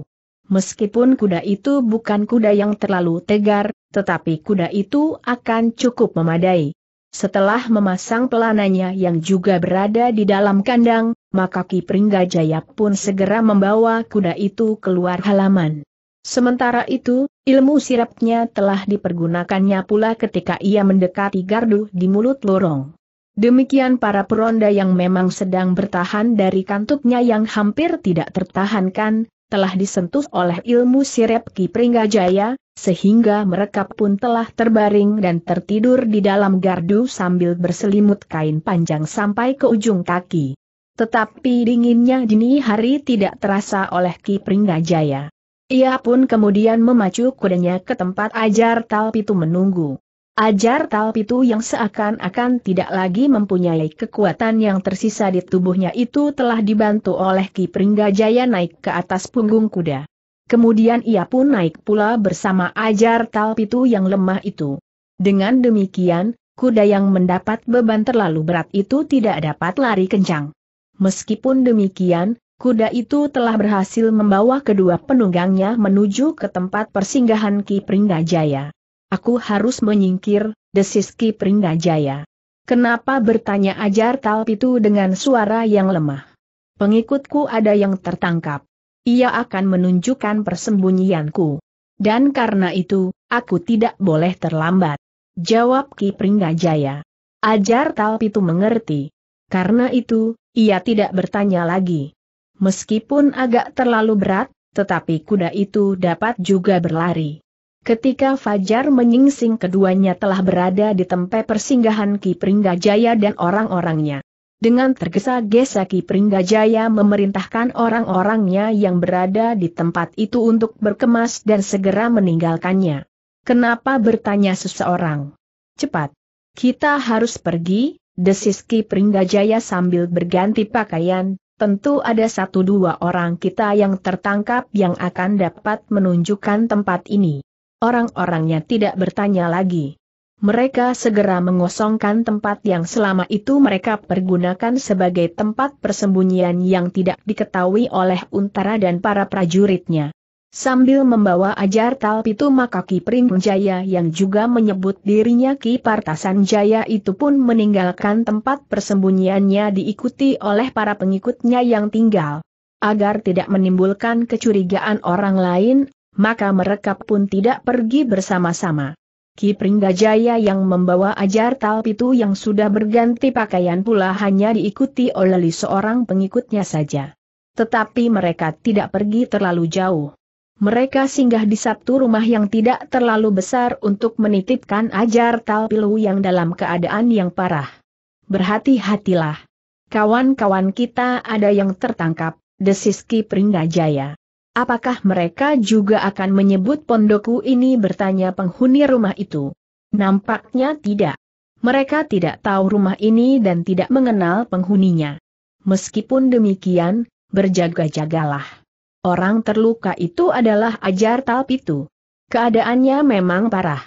Tetapi ia adalah orang yang memiliki ilmu yang luar biasa. Jika keadaannya berangsur baik, ia akan dapat menolong dirinya sendiri, berkata Ki Pringgajaya. Ajar Talpitu pun kemudian dipapah masuk ke dalam rumah itu.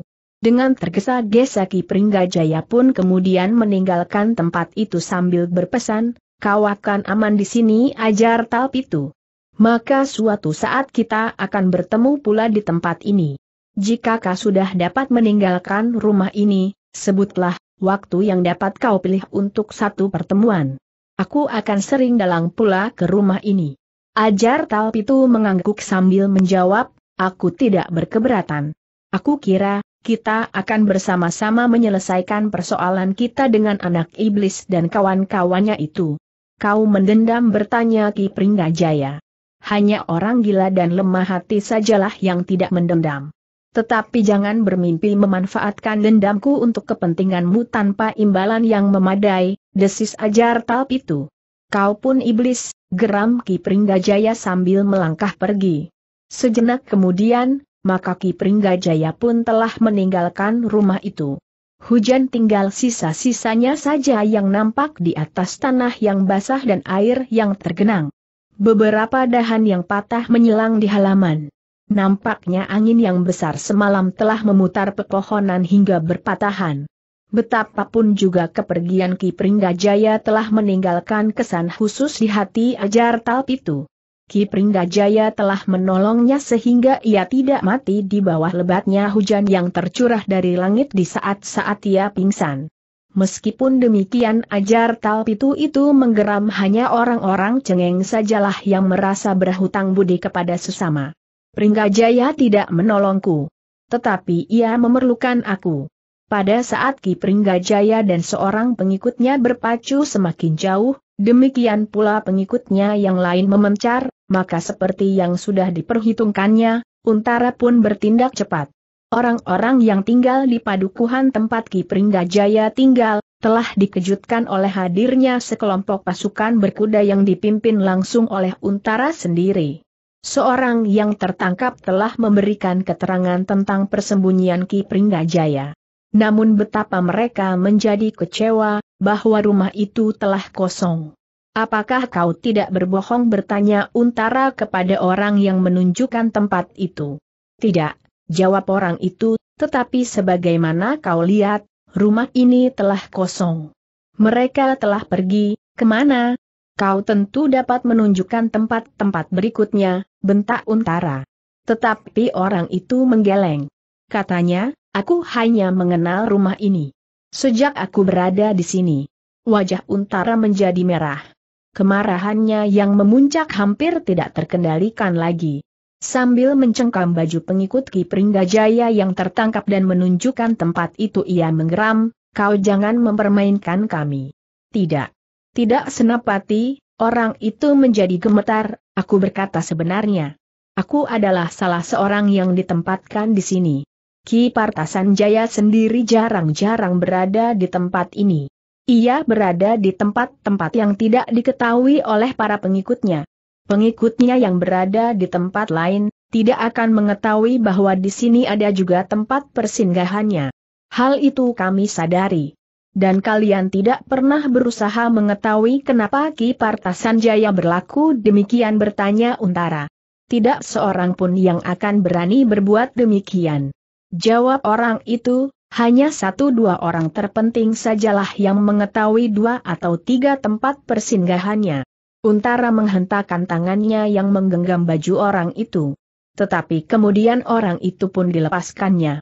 Ia terpaksa mempercayai keterangan orang itu, karena memang masuk akal. Sejenak para prajurit pajang di Jati Anum itu meneliti seisi rumah itu. Ia masih menemukan beberapa macam peralatan. Bahkan perapian di dapur masih hangat. Mereka meninggalkan tempat ini dengan tergesa-gesa, desis salah seorang perwira muda. Ya, sahut Untara, agaknya Partasan Jaya sudah menduga, bahwa kita akan datang ke tempat ini. Ternyata gerak kelompoknya lebih cepat dari kita, sehingga kita hanya menemukan tempat yang sudah kosong. Kita dapat menelusur jejak kepergian mereka, berkata seorang prajurit. Sulit sekali, sahut perwira muda, di mana-mana air tergenang. Dan mereka nampaknya telah meninggalkan tempat ini dengan tujuan yang berbeda-beda, atau dengan sengaja berpisah-pisah. Di lorong di depan rumah ini kita lihat jejak kaki kuda yang menuju ke arah yang berlawanan. Untara mengangguk-angguk. Katanya, Ki Partasan Jaya memang tangkas berpikir. Memang sulit untuk mengikuti jejaknya. Di jalan-jalan simpang mereka tentu akan berpisah-pisah lagi sehingga sulit untuk mengetahui yang manakah jejak Ki Partasan Jaya itu. Karena itu dengan jantung yang berdegupan semakin cepat Untara meninggalkan tempat itu. ia gagal lagi mengikuti jejak Ki Partasan Jaya sehingga ia kehilangan satu kesempatan karena kelambatannya. Untuk mendapatkan kesempatan berikutnya, Untara memerlukan waktu yang tidak menentu. Bahkan dengan demikian Ki Partasan Jaya akan menjadi semakin berhati-hati dan ia akan bersembunyi lebih rapat lagi, sehingga para pengikutnya tidak akan mengetahuinya. Pada saat sekelompok prajurit pajang di Jati Anom berderap kembali, maka di padepokan kecilnya, Agung Sedayu yang terluka parah sempat tidur sekejap. Gelagah putih dan sabung sari masih menunggu. Namun sejenak kemudian, Widura telah memanggilnya. Mumpung Agung Sedayu dapat tidur, kita pergi ke Jati Anom sejenak. Melaporkan keadaannya. Kepada Untara, berkata Widura. Sabung sari dan gelagah putih pun segera berkemas. Sabung Sari yang banyak hal mendapat kesempatan khusus, akan minta izin pula berada beberapa saat di padepokan menunggui Agung Sedayu yang sedang sakit. Dalam pada itu, Ki Waskita dan Kiai Gringsing yang tinggal di padepokan, duduk di ruang tengah. Jika Agung Sedayu terbangun, mereka akan dapat mendengarnya dan mungkin anak muda yang sedang terluka di bagian tubuhnya itu memerlukan pelayanan. Sejenak kemudian, maka Ki Widura telah meninggalkan padepokan kecil itu. Langit nampak cerah setelah semalam hujan bagaikan diperas dari langit. Matahari memancar terang, memanasi dedaunan yang kedinginan. Titik-titik air yang masih bergayutan di lembar-lembar daun memantulkan cahaya matahari yang bening.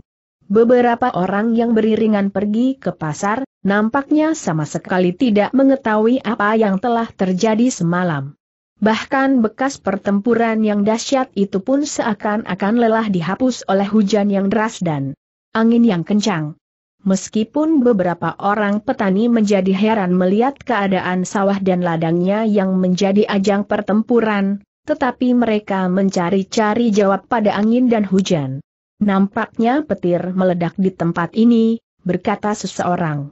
Tetapi dedaunan tidak terbakar meskipun kerusakan yang aneh telah terjadi di sini, jawab yang lain. Petir api memang membakar, sahut kawannya, tetapi ada beberapa jenis petir. Petir paju sama sekali tidak mengandung api, tetapi menghancurkan sasarannya. Tetapi para petani itu tetap berteka-teki. Sementara itu, Ki Waskita dan Kiai Gringsing pun sedang berbincang tentang Agung Sedayu mereka harus mengakui bahwa kemampuan Agung Sedayu telah meningkat dengan pesat. Seolah-olah setiap ia menghadapi lawan baru, maka justru Agung Sedayu sempat mencoba kemampuannya yang menjadi lebih tinggi. Ketika ajar Talpitu sempat menyelinap, Agung Sedayu sudah tidak mampu lagi berbuat lebih banyak, desis Ki Waskita. Ya, ia sudah sampai pada batas kemampuannya, sehingga Ajar Pitu sempat meninggalkan Arna. Tetapi aku yakin, bahwa Ajar itu pun terluka parah meskipun ia mempunyai daya tahan dan ilmu yang luar biasa, sahut Kiai Gringsing. Nasibnya masih beruntung, berkata Ki Waskita kemudian.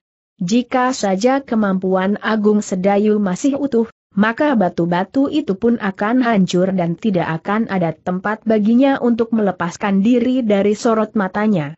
Ya, ia sudah terlalu letih. Kekuatan ilmunya tidak lagi utuh.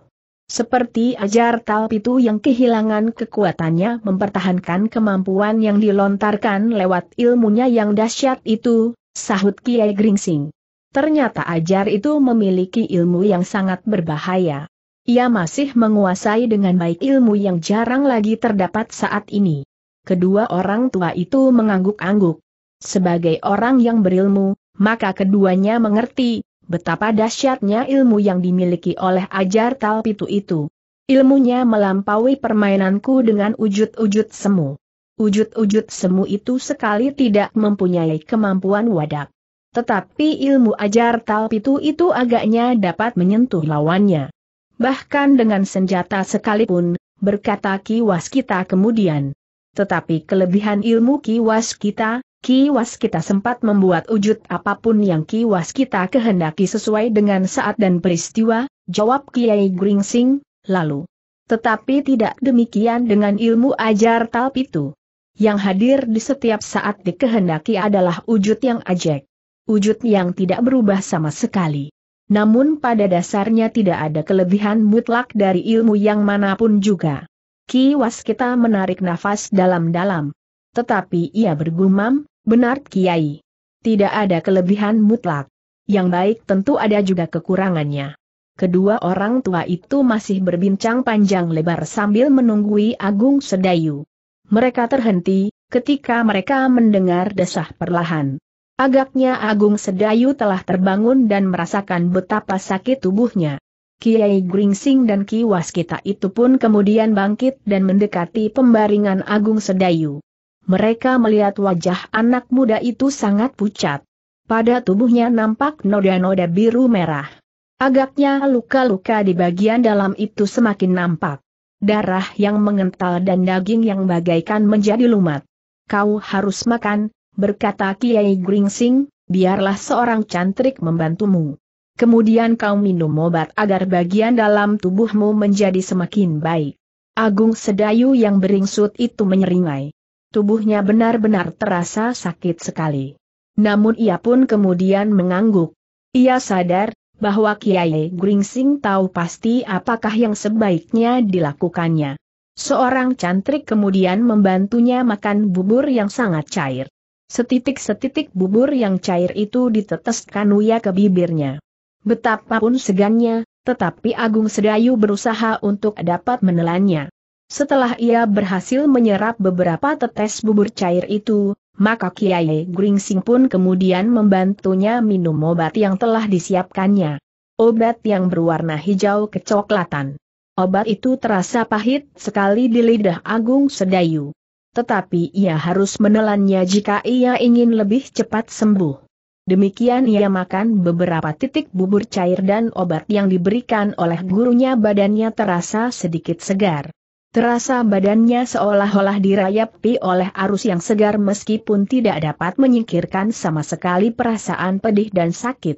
Namun dalam pada itu, atas izin Kiai Gringsing selama usaha penyembuhan itu, Ki kita sempat memberikan beberapa petunjuk kepada Agung Sedayu tentang ilmu kebalnya.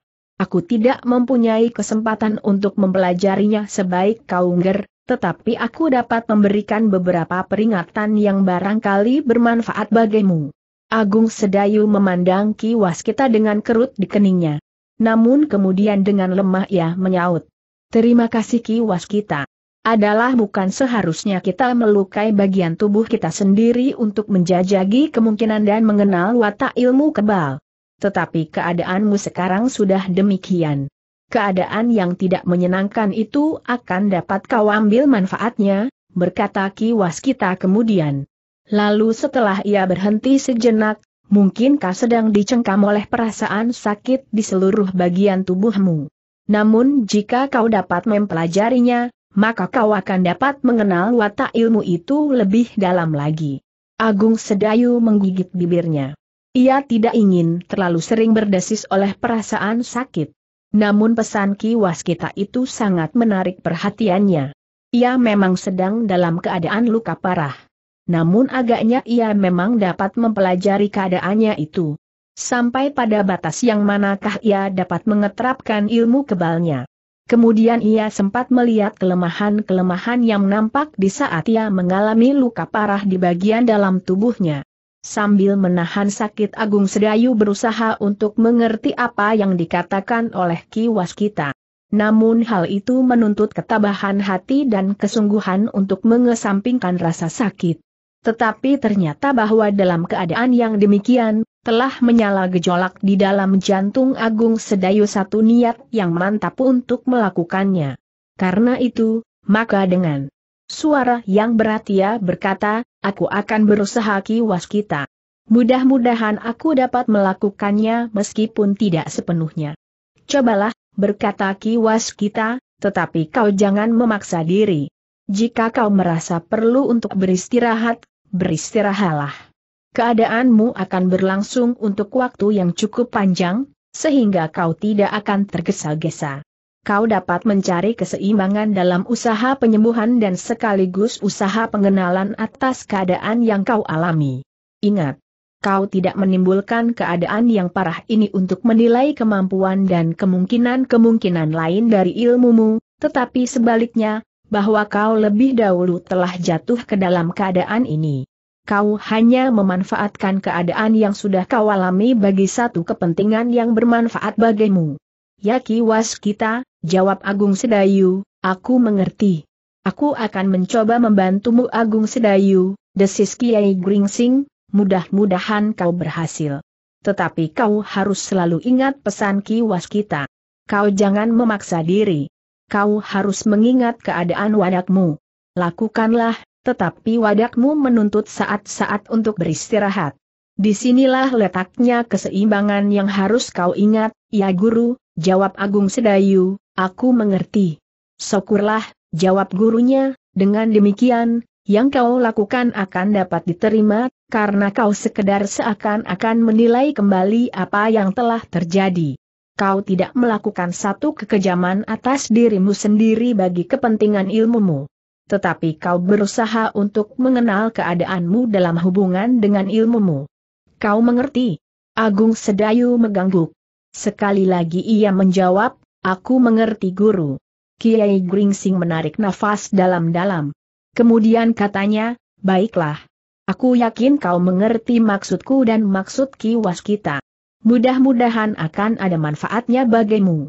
Agung Sedayu memandang gurunya dan kiwas kita berganti-ganti. Kemudian desisnya, ya guru. Mudah-mudahan aku dapat melakukannya. Kiai Gringsm dan Ki Waskita pun kemudian meninggalkan Agung Sedayu yang sudah merasa tubuhnya agak segar setelah minum obat, meskipun perasaan nyeri dan sakit masih mencengkam tulang sungsum. Sementara itu, Ki Widura diiringi Sabung Sari dan Gelagah Putih telah kembali pula dari Jati Anom.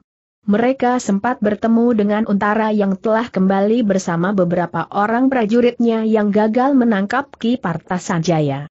Untara sudah termasuk bergerak dengan cepat, berkata Ki Widura, tetapi Ki Pringgajaya nampaknya telah berhasil mendahuluinya.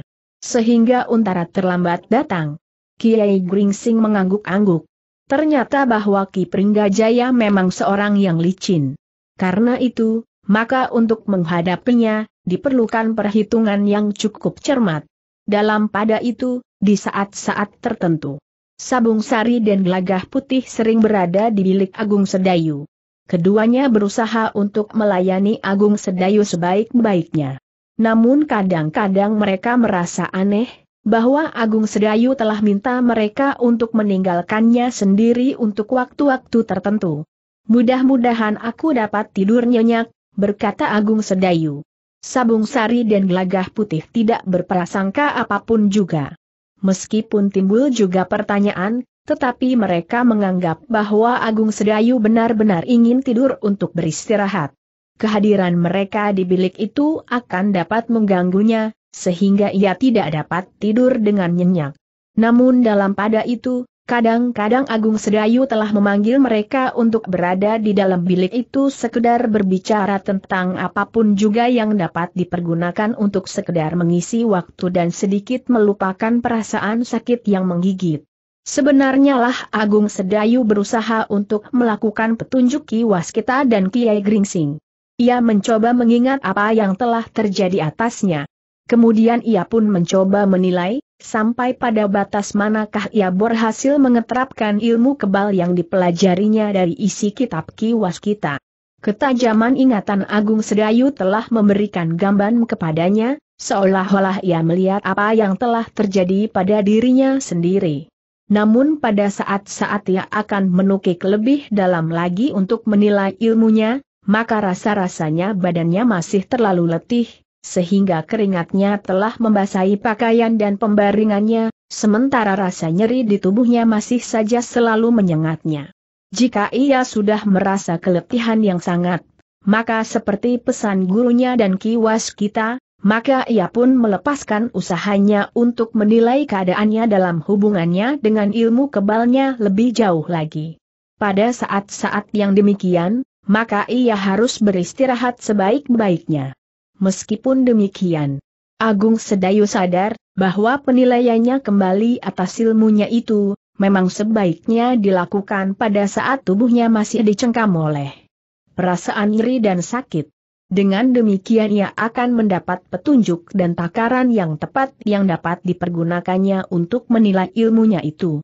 Aku tidak akan sembuh dalam satu dua hari, desis Agung Sedayu. Sehingga dengan demikian ia tidak tergesa-gesa sehingga kehilangan waktu untuk beristirahat sebaik-baiknya. Namun dalam pada itu pada saat-saat Agung Sedayu mengalami masa penyembuhan, Kiai Gringsing kadang-kadang telah digelitik oleh perkembangan keadaan. Pada saat-saat tertentu, jika ia berada seorang diri di dalam sanggarnya, kadang-kadang ia sempat melihat kepada dirinya sendiri. Kepada orang-orang di sekitarnya dan kepada lingkungan luas yang sedang bergejolak semakin dahsyat. Keadaan itu tercermin dalam hubungan antara Mataram dan Pajang sekarang ini, berkata Kiai. Gringsing kepada diri sendiri, Rasa-rasanya udara di atas pajang membujur sampai ke Mataram menjadi semakin panas. Air di sungai-sungai rasa-rasanya telah mendidih dan tanah pun bagaikan menjadi retak-retak dan menyemburkan api yang menyala. Kadang-kadang terasa jantung orang tua itu pun menjadi panas. Tetapi ia masih tetap berusaha untuk mengekang diri. Membatasi tingkah lakunya yang sebagaimana dikenal orang pada saat itu. Namun kadang-kadang tanpa sesadarnya terlonjak pula sentuhan di hatinya orang-orang itu mulai bermunculan. Ilmu yang sudah mengendap berpuluh tahun tiba-tiba telah muncul kembali. Kemampuan yang melampaui kemampuan yang sudah dikagumi. Kesaktian yang mengatasi kesaktian yang pilih tanding. Yang dianggap tidak terkalahkan telah dikalahkan. Tetapi Kiai Gringsing itu menggelengkan kepalanya. Jika sekali dirabanya pergelangan tangannya, maka ia pun selalu berusaha untuk mengalihkan pikirannya kepada yang lain. Agung Sedayu harus segera sembuh, desisnya, apakah pantas orang-orang tua berlomba menyombongkan diri dalam ungkapan ilmu yang paling aneh sekalipun. Biarlah yang muda bangkit menyusun masa depan yang jauh lebih baik.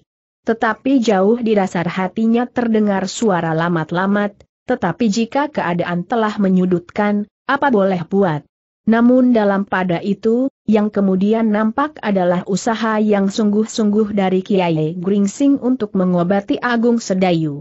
Namun sementara itu, Agung Sedayu pun telah mempergunakan waktu dengan sungguh-sungguh pula menjelang kesembuhannya, agar ia dapat mengambil manfaat dari keadaannya. Sementara Atung Sedayu mendapat perawatan dari Kiai Gringsing, maka Ajar Talpitu pun telah mendapat perawatan pula. Ki Pringgajaya telah mengirimkan seorang yang memiliki kemampuan untuk mengobati luka di dalam tubuh Ajar Talpitu. Sehingga dengan demikian, maka keadaannya pun berangsur sembuh. Namun keduanya bagaikan sedang berpacu. Ajar Talpitu berusaha untuk secepatnya sembuh. Rumah itu bagaikan neraka baginya. Karena ia pun telah dibayangi oleh kegelisahan, bahwa setiap saat prajurit pajang akan datang menyergapnya. Mereka tidak mengenal tempat ini orang yang tinggal di rumah itu selalu berusaha untuk menenangkannya. Mereka bukan orang-orang bodoh, jawab ajar Talpitu. Tetapi tidak banyak orang yang mengenal tempat ini. Hanya beberapa orang kepercayaan Ki Pringgajaya saja, jawab penghuni rumah itu. Tetapi aku lebih senang cepat sembuh daripada harus tinggal di sini, berkata ajar Talpitu itu pula, kecuali aku akan segera bebas dari kecemasan untuk ditangkap oleh prajurit-prajurit pajang, aku pun segera dapat mempersiapkan diri. Bahwa anak ingusan itu sudah dapat mengusir aku dari Medan, adalah dendam yang tiada taranya dalam hidupku. Masih cukup waktu. Kau tidak perlu tergesa-gesa. Ajar Talpitu menarik nafas dalam-dalam. Tetapi ia selalu bergumam, Tumenggung Prabadaru ternyata tidak cermat mengamati lawan yang akan dihadapkan kepada murid-muridku. Aku sendiri tidak mampu berbuat banyak di medan itu. Apalagi murid-muridku yang nampaknya mengalami nasib sangat buruk. Mereka masih tetap hidup, berkata penghuni rumah itu. Kawanku yang berhasil mendengar keterangan para prajurit mengatakan bahwa tiga orang murid Talpitu tertangkap hidup. Sulit untuk membedakan antara mati dan tertangkap. Tetapi memang masih ada kemungkinan betapapun kecilnya untuk mengambil murid-muridku dari tangan orang-orang pajang, desis ajar talpitu itu. Penghuni rumah itu mengangguk-angguk. Tetapi sebenarnya lah, sulit sekali bagi ajar talpitu untuk membebaskan murid-muridnya yang tertangkap. Kecuali dalam keadaan yang khusus. Namun selama mereka masih hidup, kemungkinan itu memang masih ada. Dengan usaha yang sungguh-sungguh dan gelora di dalam hati, ajar talpitu yang seakan-akan tidak terkendali maka. Nampaknya keadaan ajar talpilu itu dengan cepat berangsur baik. Dalam waktu beberapa hari saja ia sudah dapat berjalan-jalan di kebun belakang tempat ia dirawat. Bahkan ia telah mulai mencoba menggerakkan anggota badannya. Di malam hari ia sudah mulai meloncat-loncat untuk memulihkan keadaannya. Sedikit demi sedikit. Mula-mula sekedarnya. Semakin lama menjadi semakin banyak dan semakin berat. Aku sudah hampir pulih kembali, berkata ajar talpitu itu. Orang yang tinggal di rumah itu pun melihat, seakan-akan ajar talpitu telah utuh kembali.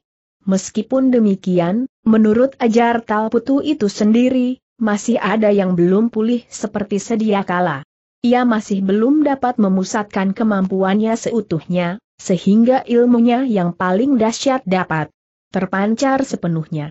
Namun perlahan-lahan kemampuannya itu pun telah berkembang di setiap hari sejalan dengan perkembangan keadaannya yang menjadi semakin baik. Agak berbeda dengan ajar Talpitu, Agung Sedayu tidak terlalu tergesa-gesa untuk sembuh. Meskipun keadaannya juga berangsur baik, tetapi Agung Sedayu justru mengambil manfaat dari keadaannya. Pada saat-saat tertentu ia sempat menilai keadaannya dalam hubungannya dengan pengeterapan ilmunya. Meskipun ia tidak berada di sanggar, tetapi ia mengambil kesempatan untuk berada di dalam biliknya seorang diri. Ia masih tetap pada alasan untuk dapat beristirahat sebaik-baiknya, sehingga tidak seorang pun yang berada di dalam biliknya. Pada saat yang demikian, Agung Sedayu sempat menilai dan membuat pertimbangan tentang ilmunya. Seolah-olah ia mendapat bahan banding atas usahanya membangunkan ilmu kebal di dalam dirinya dengan kenyataan yang dialaminya. Pada setiap kesempatan yang demikian, Agung Sedayu mencoba untuk menelusuri kembali, saat-saat ia mulai mempelajari ilmu itu. Kemudian perkembangannya setapak demi setapak. Sehingga akhirnya sampai pada suatu tataran di mana ajar talp itu masih berhasil meremukan bagian dalam tubuhnya. Pengamatan dan penilaian kembali, serta keadaan tubuhnya yang bagaikan lumat itu, telah menuntun Agung Sedayu menemukan jalan yang tepat meningkatkan ilmunya lebih lanjut. Khususnya ilmu kebalnya. Di saat-saat ia merenung maka rasa-rasanya ia menemukan lapisan-lapisan yang akan dapat didakinya sehingga tataran yang jauh lebih baik dari tataran yang telah diinjaknya. Ketika Agung Sedayu sudah dapat bangkit dari pembaringannya dan berjalan-jalan satu dua langkah di halaman, maka mulailah ia memasuki sanggarnya. Justru ketika tubuhnya masih belum sembuh benar, mulailah ia menempa diri dengan sentuhan-sentuhan lemah pada bagian tubuhnya yang bagaikan lumat di dalam. Agung Sedayu mencari kelemahan-kelemahan yang masih ada padanya dan berusaha menemukan lambaran yang dapat menutup kelemahannya itu sesuai dengan ilmu yang dipelajarinya, seperti yang pernah dibacanya dalam kitab yang dipinjamkan oleh Ki Waskita kepadanya, dan isinya terpahat pada dinding jantungnya. Karena itulah, maka keadaan Agung Sedayu agak berbeda dengan keadaan Ajar Talpitu. Ketika Ajar Talpilu telah menemukan kekuatannya kembali sehingga hampir pulih seperti sedia kala. Agung Sedayu masih nampak lemah dan merasa sakit dan pedih pada bagian dalam tubuhnya meskipun sudah berangsur berkurang. Namun dengan demikian, sejalan dengan kesembuhannya yang lambat, maka ilmu kebal Agung Sedayu pun meningkat pula semakin mapan, hingga ilmunya akan benar-benar mampu melindungi dirinya terhadap gangguan atas tubuhnya. Namun dalam pada itu, ia selalu menyadari seperti yang dikatakan oleh gurunya, bahwa tidak ada kelebihan mutlak pada siapa pun. Betapapun tinggi ilmu seseorang, namun pada suatu saat, ia akan terpaksa melihat satu kenyataan, bahwa ada kemampuan lain yang dapat melampauinya. Lebih dari itu, apa yang dimiliki itu adalah satu kurnia sehingga penggunaannya harus dikembalikan bagi satu kepentingan yang sejalan dengan kurnia itu sendiri. Sementara itu, ternyata Untara tidak menemukan apa-apa dari orang-orang yang dapat ditangkapnya. Orang-orang itu hanya dapat menyebut Ki Partasan Jaya dan Kitu Menggung Prabadaru. Selebihnya tidak. Namun dengan demikian, Untara sudah mempunyai bahan cukup untuk menilai keadaan Tumenggung Prabadaru. Untara sendiri masih belum tahu dengan pasti, apakah yang sebenarnya bergejolak di Pajang, ia menyadari bahwa ada satu kekuatan yang mempunyai sikap dan pendirian tersendiri. Namun ia pun masih belum dapat menilai dalam keseluruhan yang menyangkut kekuatan yang samar itu. Pajang sendiri yang mulai rapuh, dan Mataram yang baru tumbuh. Karena itu, Untara menyadari bahwa ia harus melangkah dengan hati-hati. Ia pun mengerti bahwa di antara prajurit-prajurit pajang yang berada di Jati Anum itu pun harus dimulainya dengan cermat. Sementara itu, keadaan Ajar Talpitu telah sembuh sama sekali.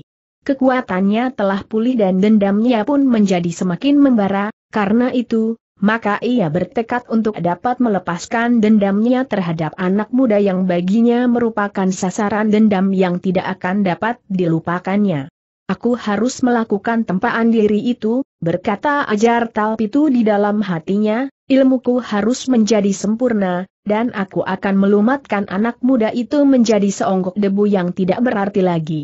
Namun Ajar Talpitu pun sadar sepenuhnya kepentingannya dapat sejalan dengan kepentingan Ki Pringgajaya.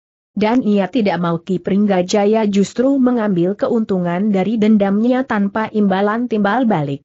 Karena itu maka ajar Talpilu itu pun telah bersedia berbicara dengan Ki Pringgajaya dan Ki Tumenggung Prabadaru. Bahkan berkepentingan dengan Tumenggung yang dianggapnya telah menjerumuskan murid-muridnya ke dalam kesulitan.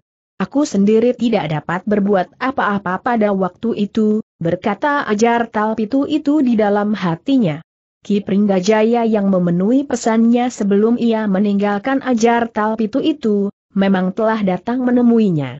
Mereka mulai membicarakan kepentingan bersama itu. Mereka masing-masing mulai membicarakan imbalan yang paling pantas atas pertimbangan keuntungan pada semua pihak. Harus diperhitungkan ketiga muridku yang tertangkap atau terbunuh di pertempuran itu, berkata Ajar Talpitu, jika tidak, aku akan menemui Kitu Menggung sendiri untuk mengajukan persoalanku kepadanya atas ketiga anak-anak itu. Kita akan membicarakannya, berkala Ki Pringgajaya.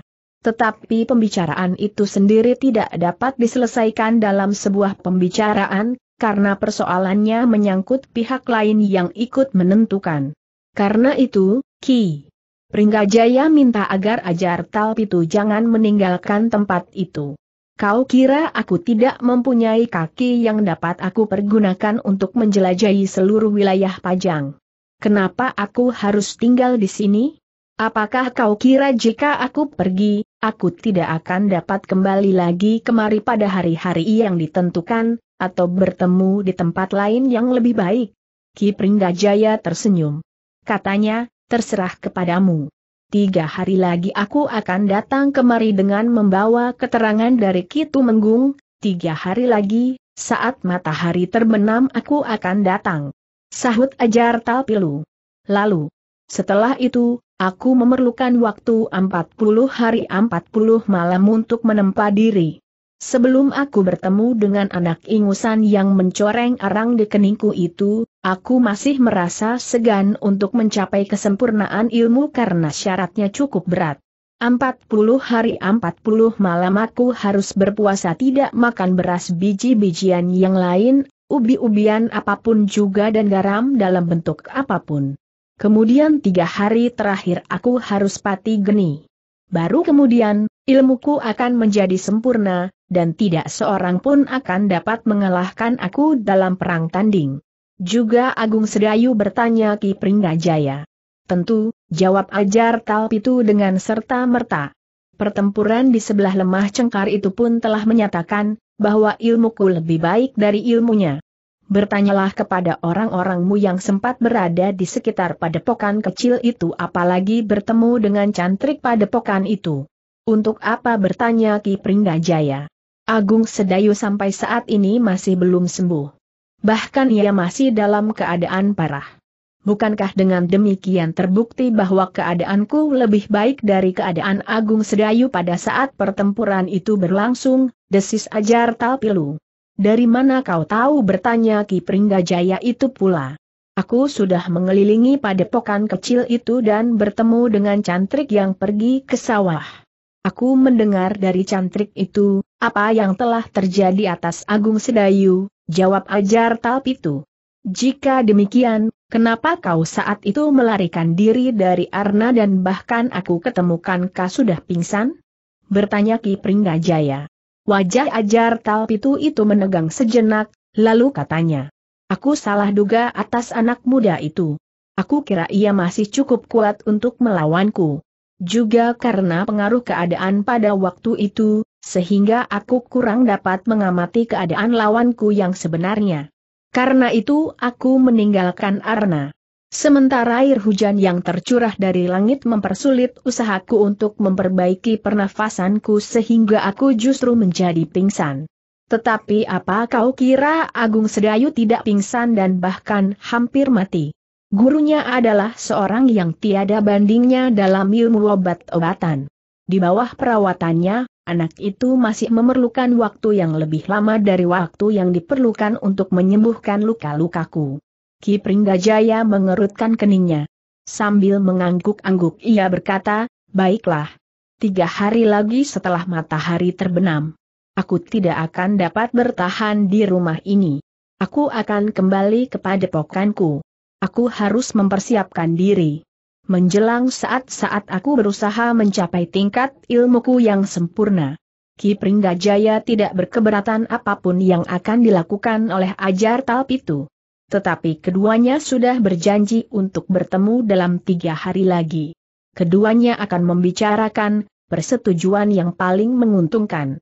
Ki Pringgajaya memerlukan bantuan ajar Talpitu untuk mengurangi hambatan jalan menuju satu masa yang dicita-citakan yang sudah tentu tanpa pajang dan mataram, sementara ajar Talpitu memang ingin melepaskan dendamnya yang membara di dalam dadanya. Tetapi justru ia sadar, bahwa Ki Pringgajaya memerlukannya. Namun dalam pada itu, ternyata Ki Pringgajaya ingin juga membuktikan, apakah yang dikatakan oleh Ajar Talpilu itu benar, bahwa Agung Sedayu masih belum sembuh benar. Untuk itu Ki Pringgajaya telah mengirimkan dua orang dengan sandi untuk berbicara dengan cantrik dari padepokan itu jika mereka pergi ke sawah. Tetapi dengan pesan agar mereka tidak menimbulkan kecurigaan. Ternyata yang dikatakan oleh Ajar Talpilu itu benar. Pada saat Ajar Talpilu sudah pulih seperti sedia kala, ternyata bahwa Agung Sedayu masih belum sembuh. Dari para cantrik yang ditemuinya di sawah maka para pengikut Ki Pringgajaya itu mengetahui bahwa meskipun Agung Sedayu sudah dapat bangkit dari pembaringannya, tetapi masih belum sembuh dari luka-lukanya. Ia masih terlalu lemah dan kadang-kadang bahkan nampak letih sekali. Apakah gurunya tidak berusaha untuk menyembuhkannya dengan cepat? Bertanya orang itu. Tentu. Kiai Gringsing sudah memberikan obat apa saja. Bahkan dengan pengobatan khusus. Tetapi perkembangan kesehatannya sangat lambat, jawab cantrik itu. Kasihan, desis pengikut Ki Pringgajaya. Siapa kau bertanya cantrik itu? Aku. Kau belum pernah melihat aku? Pengikut Ki Pringgajaya itu ganti bertanya. Cantrik itu menggeleng. Jawabnya, belum. Aku anak Jati Anom, jawab pengikut Ki Pringgajaya, kita sering berpapasan. Jika kau pergi ke sawah dan kebetulan aku pulang dari sawah. Di mana letak sawahmu? Begitu jauh bertanya cantrik itu. Aku juga harus mengerjakan sawah pamanku di paling ujung dari bulak ini. Bukankah sawah padepokanmu terletak di seberang parit dari petak padas yang ditumbuhi perdu itu? Sahut pengikut Ki Pringgajaya. Cantrik itu mengangguk-angguk sambil menjawab, di sanalah kami diperbolehkan membuka hutan. Ya, tetapi sekarang daerah itu nampak subur. tidak bedanya dengan sawah pamanku yang aku garap itu. Nampaknya semula orang mengira bahwa di seberang petak padas itu, tidak akan dapat ditemukan tanah yang subur. Dikiranya tanah itu juga berpadas dengan gerumbul-gerumbul yang jarang. Tetapi kalian berhasil menggarapnya menjadi tanah pertanian yang subur. Kami mengolahnya dengan sungguh-sungguh, jawab cantrik itu. Namun cantrik itu memang tidak curiga sama sekali, bahwa orang-orang itu adalah para pengikut Ki. Pringgajaya yang sekedar ingin mengetahui keadaan Agung Sedayu. Dengan demikian cantrik itu pun segera melupakannya ketika orang-orang itu telah meninggalkannya. Sebenarnya lah bahwa keadaan Agung Sedayu memang masih belum pulih seperti sedia kala. Ia masih nampak lemah dan kadang-kadang, bahkan ia menjadi letih seperti orang yang kehabisan tenaga. Seolah-olah luka di dalam tubuhnya itu menjadi bertambah parah. Namun kadang-kadang dia nampak lebih baik sehingga ia dapat berjalan-jalan di kebun di belakang padepokannya bersama sabung sari dan gelagah putih. Namun seperti para cantrik itu tidak menyadari bahwa ia telah memberikan keterangan kepada orang-orang yang justru lawan Agung Sedayu, maka mereka pun juga tidak mengerti, bahwa selama itu Agung Sedayu justru telah memanfaatkan keadaannya. Meskipun tidak ada kesengajaan untuk memperlambat kesembuhannya, tetapi karena pada saat-saat tertentu ia harus menempa diri sehingga menuntutnya mengerahkan tenaganya yang masih belum pulih benar itu, maka kesembuhannya pun menjadi lambat. Dan itu pun telah disadarinya, seperti juga disadari oleh Kiai Gringsing dan Ki Waskita. Namun Kiai Gringsing dan Ki Waskita pun mengetahui, jika nanti Agung Sedayu sembuh, maka ia tentu sudah memiliki ilmu kebal yang mapan. Meskipun ilmu itu tidak setingkat dengan daya tahan ilmu yang pernah dimiliki oleh Sultan Hadiwijaya di Pajang dan yang mungkin juga sudah dimiliki meskipun belum sempurna oleh Raden Sutawijaya yaitu ilmu tameng wajah, namun ilmu kebal yang dipelajari Agung. Sedayu dan kemudian dimatangkannya justru pada saat-saat tubuhnya terluka di dalam itu akan bermanfaat baginya. Berita yang diterima oleh para pengikut Ki Pringgajaya itu memang menggembirakan bagi Ki Pringgajaya. Dengan demikian ia pun sependapat bahwa ilmu ajar talp itu masih selapis lebih tinggi dari ilmu yang dimiliki Agung Sedayu. Jika kemudian ajar talp itu masih akan mesu diri dengan berpuasa 40 hari 40 malam, dan kemudian pati geni selama tiga hari tiga malam, maka ilmunya yang dahsyat itu tentu akan mencapai tingkat sempurna. Dengan demikian maka Agung Sedayu tentu tidak akan berhasil melawannya. Yang menjadi persoalan kemudian, apakah ajar talp itu akan berhasil melibatkan Agung Sedayu ke dalam perang tanding. Namun dalam pada itu, Kiai Gringsing pun tidak dapat mengabaikan peredaran waktu yang berjalan demikian cepatnya.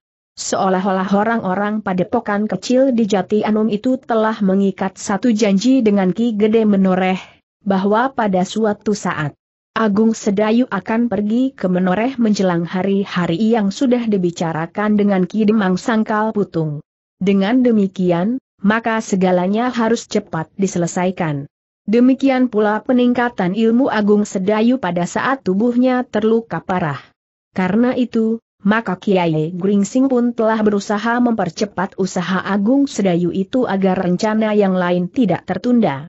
Sementara itu, Ajar Talpitu lelah mengadakan pembicaraan-pembicaraan dengan Ki Pringgajaya sebagai kelanjutan pembicaraan yang pernah mereka lakukan. Atas persetujuan Tumenggung Prabadaru maka Ki Pringgajaya yang kemudian menyebut dirinya Ki Partasan Jaya itu telah membuat perjanjian-perjanjian baru dengan ajar talpitu. Jika semula hanya tiga orang muridnya sajalah yang diserahkan kepada Kitu Menggung, namun yang tidak berhasil melakukan sesuatu, maka kemudian ajar talpitu sendirilah yang mengikat perjanjian itu. Sudah aku katakan, berkata ajar talpitu, aku berbicara khusus mengenai Agung Sedayu. Aku tidak peduli orang-orang lain. Karena itu kesempatan yang aku cari adalah kesempatan untuk berperang tanding. Terserah kepadamu, jawab Ki Pringgajaya, harga yang kita bicarakan juga hanya harga Agung Sedayu, meskipun kami tahu, seandainya kami pura-pura tidak mengetahui tentang hubunganmu dengan dendamu, maka kami tidak akan terlibat. Aku tidak akan berbuat apa-apa, desis ajar Talpitu. Kami pun dapat bersikap serupa.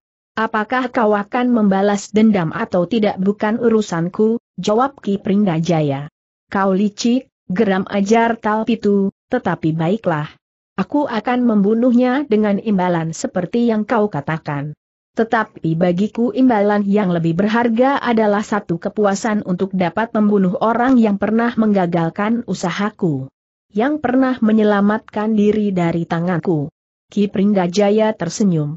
Katanya, jangan kau sebut aku licik. Kaulah yang terlalu tamak.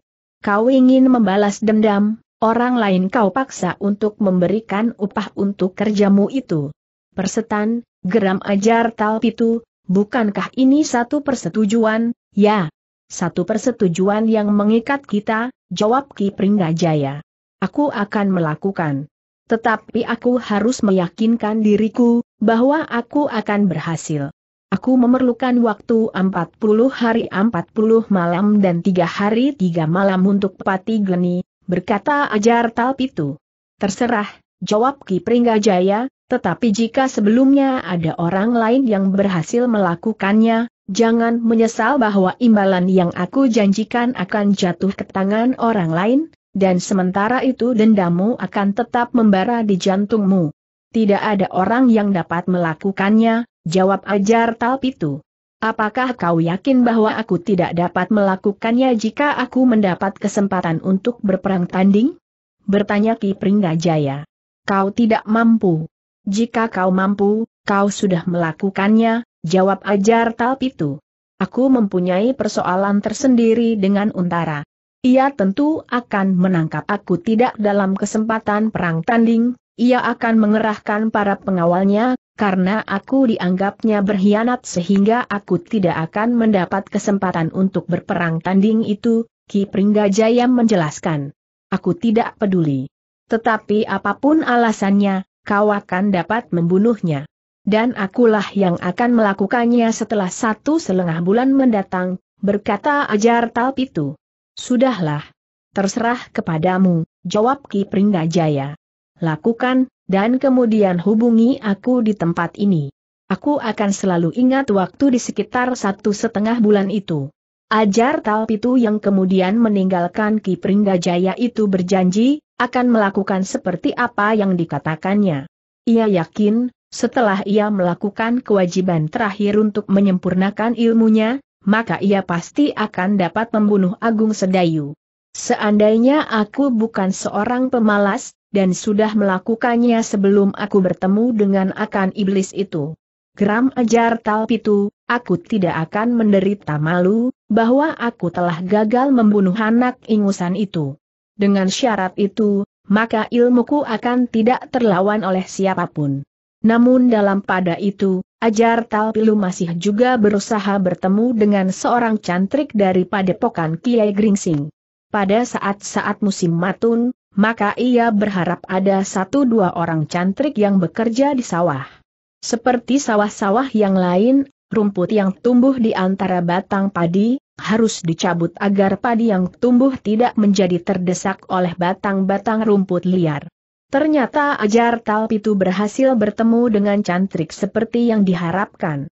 Sambil berjongkok di pematang, ia menunggui seorang cantrik yang sedang mencabuti rumput dengan tekunnya. Jadi Agung Sedayu masih belum sembuh sampai hari ini. Tanda tanya bertanya ajar Talpitu. Ya, nampaknya gurunya menjadi gelisah. Kiai Gringsing sudah berusaha dengan pengobatan khusus. Kadang-kadang keduanya berada di sanggar untuk waktu yang lama. Namun justru Agung Sedayu nampaknya masih saja letih dan payah. Jawab cantrik itu. Kasihan, desis ajar Talpitu, kalau demikian, aku tidak ingin mengganggunya. Mudah-mudahan ia lekas sembuh. Lain kali sajalah aku menemuinya, siapa kau bertanya cantrik itu?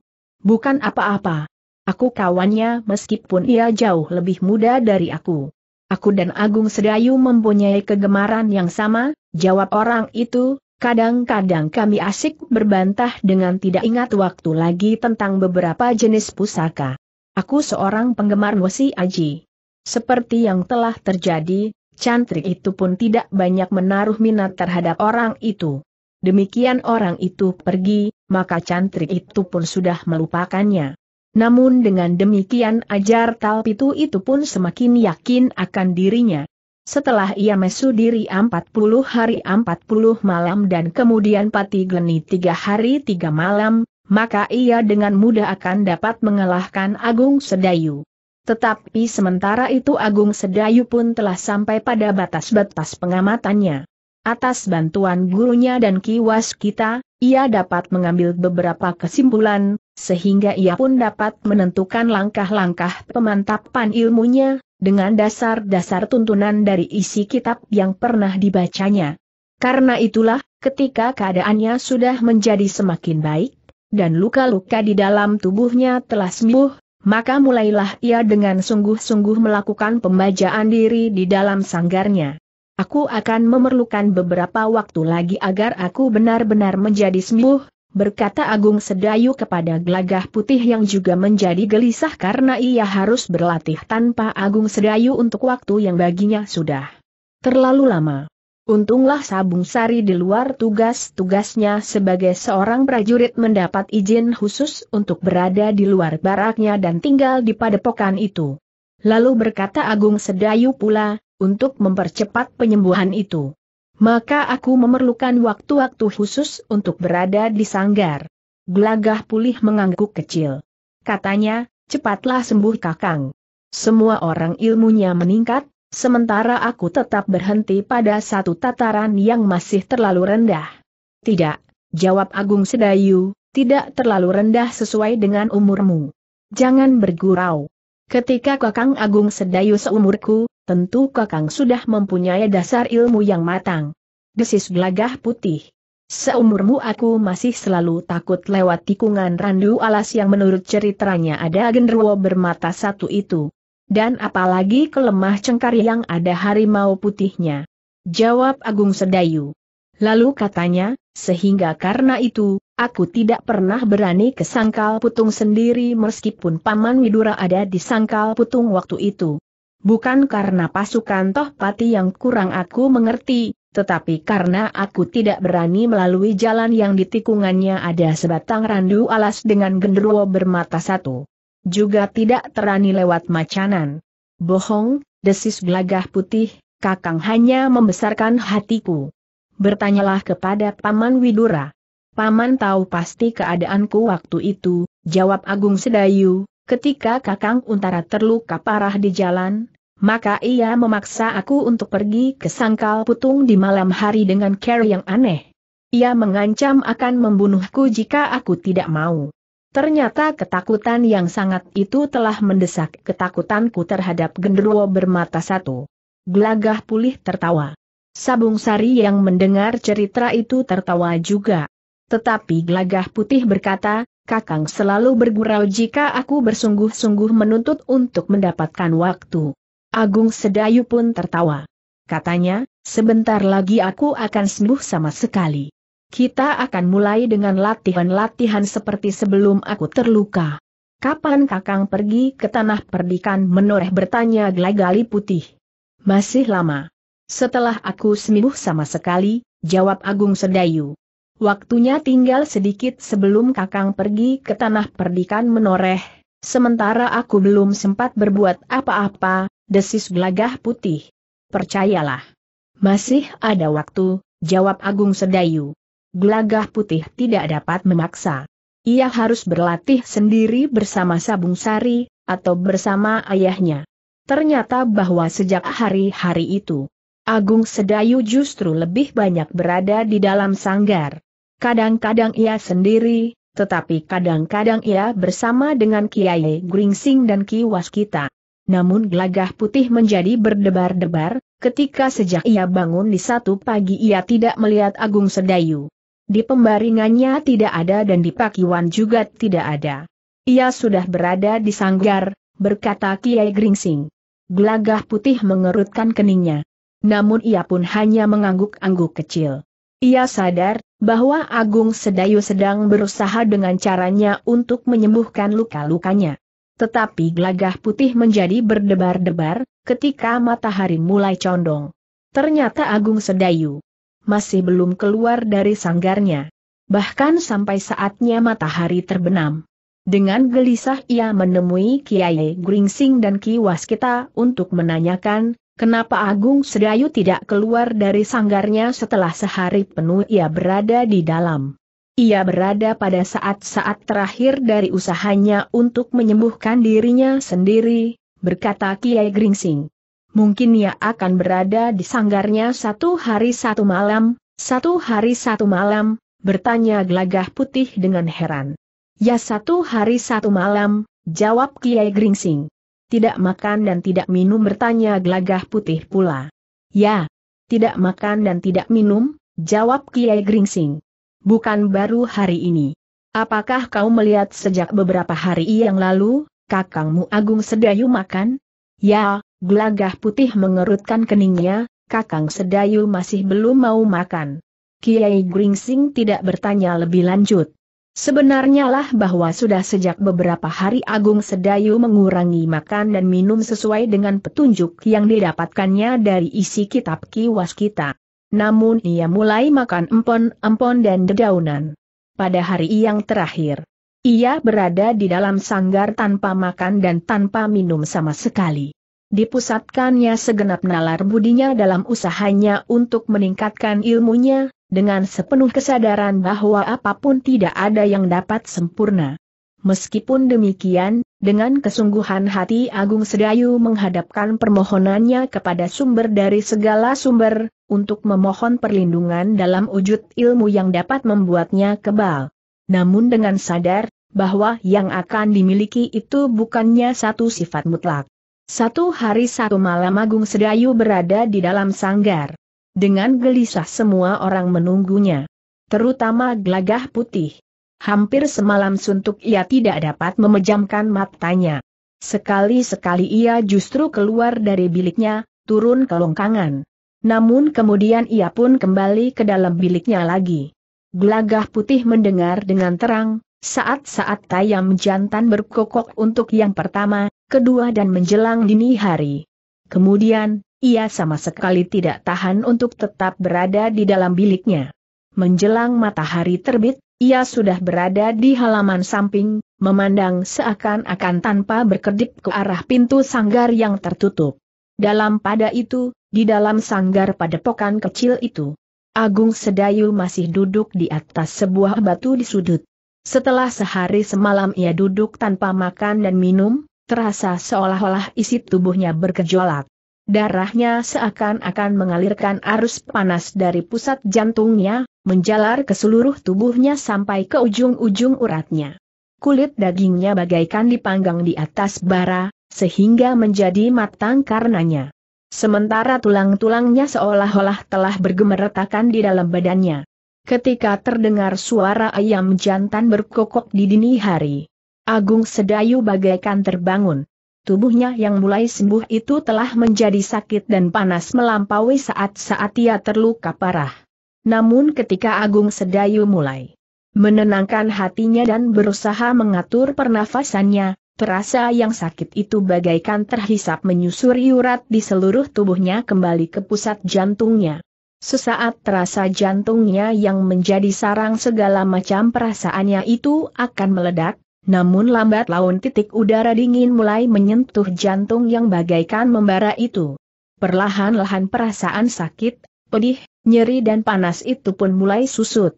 Namun perasaan letih dan lelah mulai terasa merayapi segala sendi-sendinya.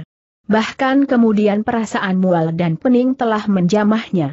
Tetapi seperti yang seharusnya dilakukan, ia sudah melampaui batas yang ditentukan. Karena itu, maka perlahan-lahan ia mulai menggerakkan jari-jarinya. Jari-jari tangan dan kakinya. Kemudian ia mulai beringsut perlahan-lahan. Betapa perasaan letih dan lelah telah mencengkamnya, maka ia pun berusaha untuk bangkit. Agung Sedayu harus berpegangan pada dinding sanggarnya agar ia tidak terjatuh. Rasa-rasanya tanah tempatnya berpijak bagaikan bergoyang oleh pening di kepalanya.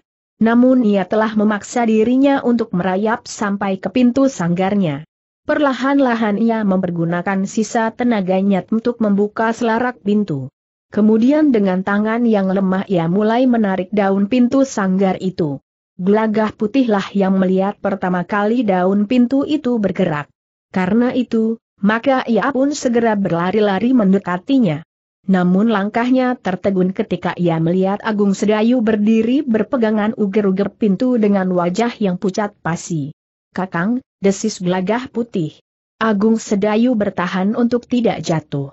Sekilas ia teringat saat-saat ia mesu diri di dalam gua. Perasaannya mirip dengan yang dirasakannya saat itu.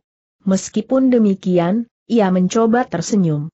Dengan suara bergetar ia berkata, aku sudah selesai gelagah putih. Tetapi kakang nampaknya tidak menjadi sembuh, jawab gelagah putih sambil melangkah mendekat. Agung Sedayu pun kemudian berpegangan pada punda adiknya. Katanya, tolong aku sampai ke dalam. Kakang menjadi bertambah parah, desis gelagah putih. Yang terdengar adalah jawaban dari Serambi, tidak gelagah putih. Kakakmu akan sembuh. Gelagah putih berpaling. Dilihatnya Kiai Gringsing. Ki Waskita, Ki Widura dan Sabung Sari berdiri di tangga Serambi. Agung Sedayu pun memandang mereka sejenak. Namun kemudian desisnya, bantu aku. Dengan dipapah oleh gelagah putih, Agung Sedayu yang merasa tubuhnya letih sekali dan kepalanya bagaikan berputar telah naik lewat pintu samping masuk ke ruang dalam. Dengan tangan gemetar ia menerima semangkuk cairan berwarna putih agak kehijau-hijauan. Minumlah, desis Kiai Gringsing memberikan minuman itu. Agung Sedayu pun kemudian mengangkat cairan itu ke mulutnya dengan tangannya yang lemah. Hampir saja ia gagal meletakkan mangkuk itu ke bibirnya. Namun akhirnya seteguk demi seteguk cairan itu diminumnya. Terasa kesegaran merayapi seluruh tubuhnya. Badannya yang bagaikan tidak bertulang lagi itu pun mulai terasa hidup kembali. Beristirahatlah dahulu, berkata Kiai Gringsing, mungkin kau merasa lapar. Tetapi kau tidak boleh tergesa-gesa makan. Agung Sedayu tersenyum. Wajahnya yang pucat sudah mulai dijalari oleh warna darahnya. Untuk beberapa saat Agung Sedayu duduk dengan tenang. Namun kemudian Kiai Gringsing berkata, jika kau masih merasa sangat letih, kau dapat berbaring di pembaringanmu. Agung Sedayu memang merasa sangat letih. Matanya menjadi berat oleh perasaan kantuk yang terasa mulai menjamahnya. Karena itu, maka ia pun kemudian minta diri untuk masuk ke dalam biliknya. Ketika ia bangkit dan berdiri, ternyata bahwa ia tidak lagi merasa gemetar. Beberapa teguk cairan yang diberikan oleh gurunya telah membuat tubuhnya agak segar. Meskipun kemudian ia masih berpegangan pada lengan gelagah putih, namun ia sudah merasa dapat berjalan dengan tegak.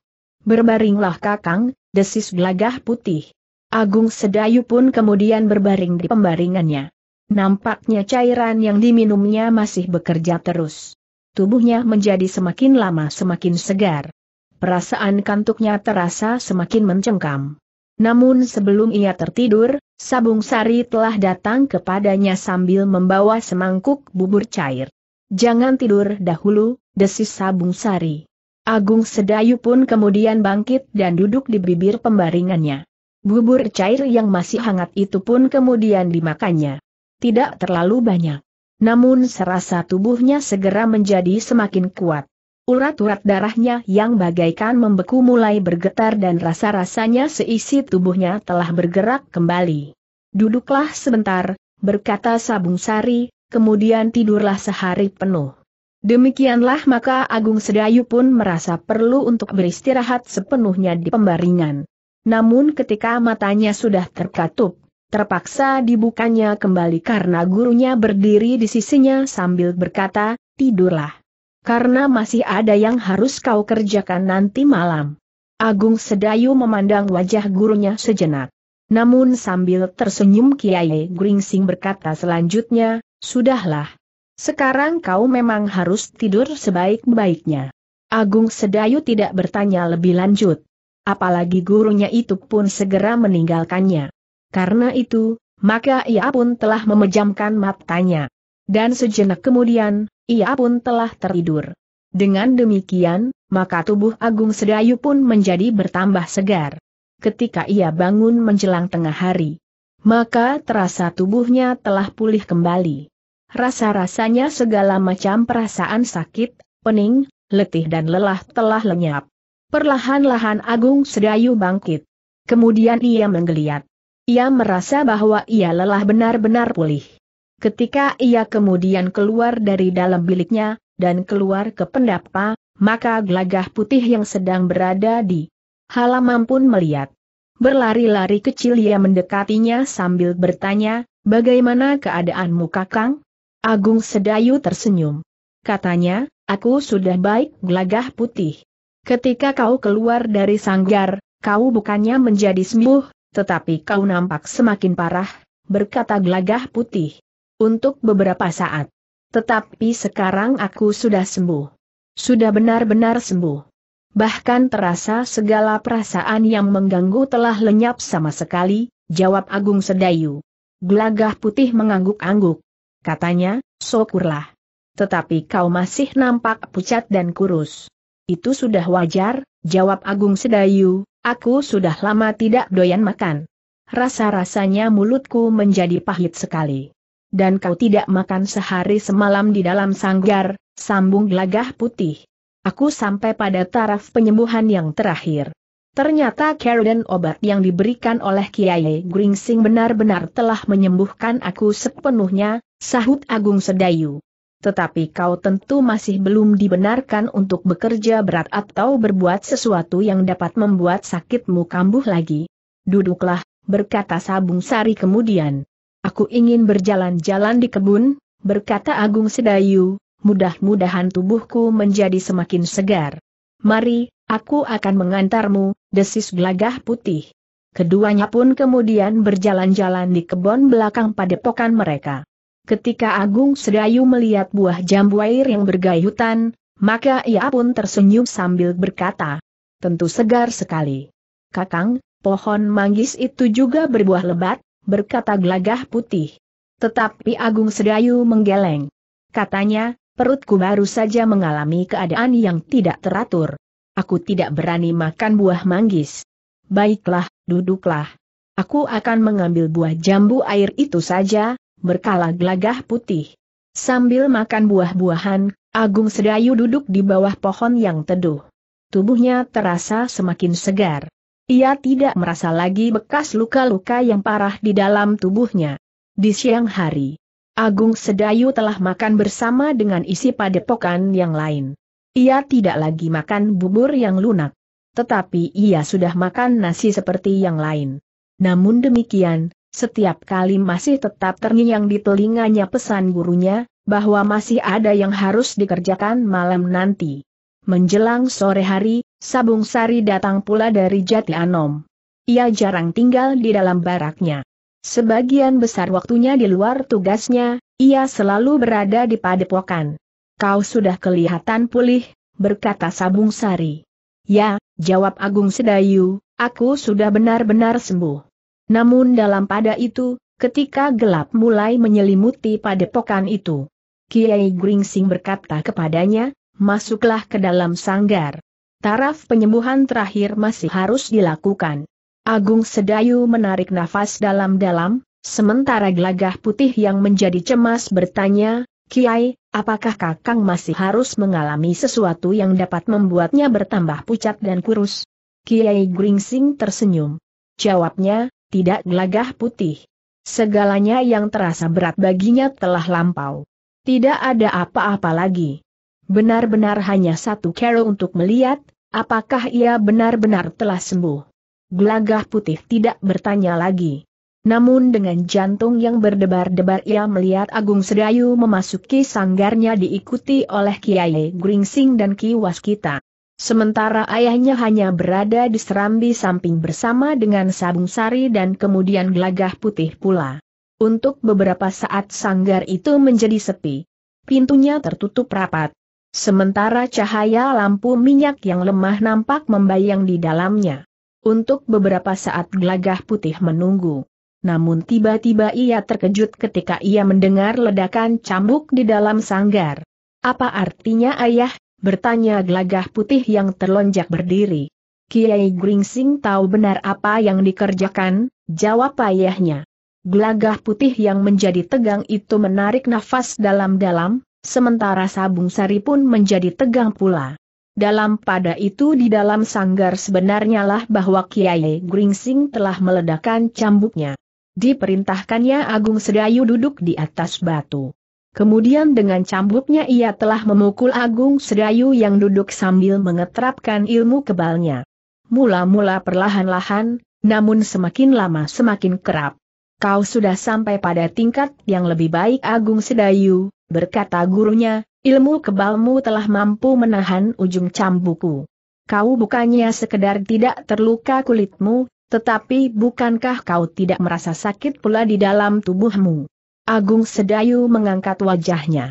Kemudian sambil menggeleng ia berkata, rasa-rasanya tubuhku benar-benar telah dilindungi oleh ilmu itu guru. Bagus, berkata Kiai Gringsing, aku akan mencoba lagi dengan kekuatan yang lebih besar. Bersiaplah. Tetapi jika kau merasa bahwa ujung cambuk itu menembus ilmumu, katakanlah. Agung Sedayu menarik nafas dalam-dalam. Namun ia pun yakin bahwa gurunya tentu mempunyai perhitungan yang mapan. Karena itu, maka katanya pasrah. Terserahlah kepada guru, aku akan melakukannya. Agung Sedayu, berkata Kiai Gringsing, kau sudah memasuki tataran dari orang-orang yang berilmu tinggi. Karena itu, maka aku akan mempergunakan seluruh kekuatanku untuk meledakkan cambuk ini meskipun tidak dengan serta-merta. Karena itu, dalam peningkatan yang perlahan-lahan kau jangan ragu-ragu untuk menghentikannya, apabila terasa bahwa ilmumu masih tertembus oleh kekuatan yang terlontar pada ujung cambuku. Agung Sedayu mengangguk. Yang terjadi bukannya perang tanding. Karena itu, ia tidak akan menahan diri, Seandainya ia merasa perlu untuk menghentikan sentuhan ujung cambuk Kiai Gringsing. Dalam pada itu, Agung Sedayuk pun segera mempersiapkan diri. Sementara itu, Kiai Gringsing mulai memutar cambuknya. Ia tidak lagi mempergunakan kekuatan wajarnya. Tetapi ia mulai menghimpun tenaga cadangannya, meskipun setingkat demi setingkat. Sejenak kemudian cambuk Kiai Gringsing itu pun meledak tidak begitu keras seperti ledakan sebelumnya. Namun dalam pada itu telah terlontar kekuatan yang tiada taranya. Agung Sedayu masih duduk berdiam diri. Ia merasa sentuhan ujung cambuk Kiai Gringsing. Tetapi ia pun merasa bahwa ujung cambuk yang meledak tidak terlalu keras dalam tangkapan telinga wadah itu, tidak pula menembus ilmu kebalnya. Dua tiga kali cambuk Kiai Gringsing meledak. Karena itu tidak melihat Agung Sedayu memberikan isyarat apa pun, maka Kiai Gringsing telah meningkatkan kekuatannya. Tenaga cadangannya yang terhimpun menjadi semakin banyak. Sejenak kemudian cambuk itu meledak. Namun Agung Sedayu masih tetap duduk diam. Luar biasa, berkata Kiai Gringsing di dalam hatinya. Bahkan kemudian orang tua itu pun telah memberanikan diri untuk mengerahkan segenap kemampuannya dihimpunnya segala tenaga cadangan yang dapat dilakukannya. Kiai Gringsing bertekad untuk mempergunakan segenap kemampuannya seakan-akan ia berhadapan dengan lawan yang memiliki ilmu yang tidak ada duanya. Sejenak kemudian, maka sekali lagi terdengar cambuk itu meledak. Terdengar suaranya justru menjadi semakin lambat. Namun dalam pada itu, terasa di jantung mereka yang mendengarnya, Seakan-akan dada mereka telah terguncang pula karenanya. Ki Widura dan Sabung Sari menahan nafasnya. Sementara gelagah putih menjadi heran, bahwa seolah-olah ia mendengar sesuatu yang lain di dalam sanggar itu. Bahkan ia pun menjadi bingung, bahwa jantungnya telah menggelepar pula di dalam dadanya. Ki Waskita yang juga berada di dalam sanggar itu menahan nafas. Ia mengenal dengan baik tingkat ilmu dan kemampuan Kiai Gringsing. Dan ia pun mengerti, bahwa Kiai Gringsing telah mempergunakan segala kekuatannya untuk mencoba kemampuan muridnya. Dalam pada itu, Ketika ujung cambuk Kiai Gringsing itu menyentuh kulit Agung Sedayu maka Agung Sedayu itu pun berkisar meskipun hanya setebal jari. Ia masih nampak menggigit bibirnya sesaat, meskipun kemudian seolah-olah ia tidak merasakan sesuatu.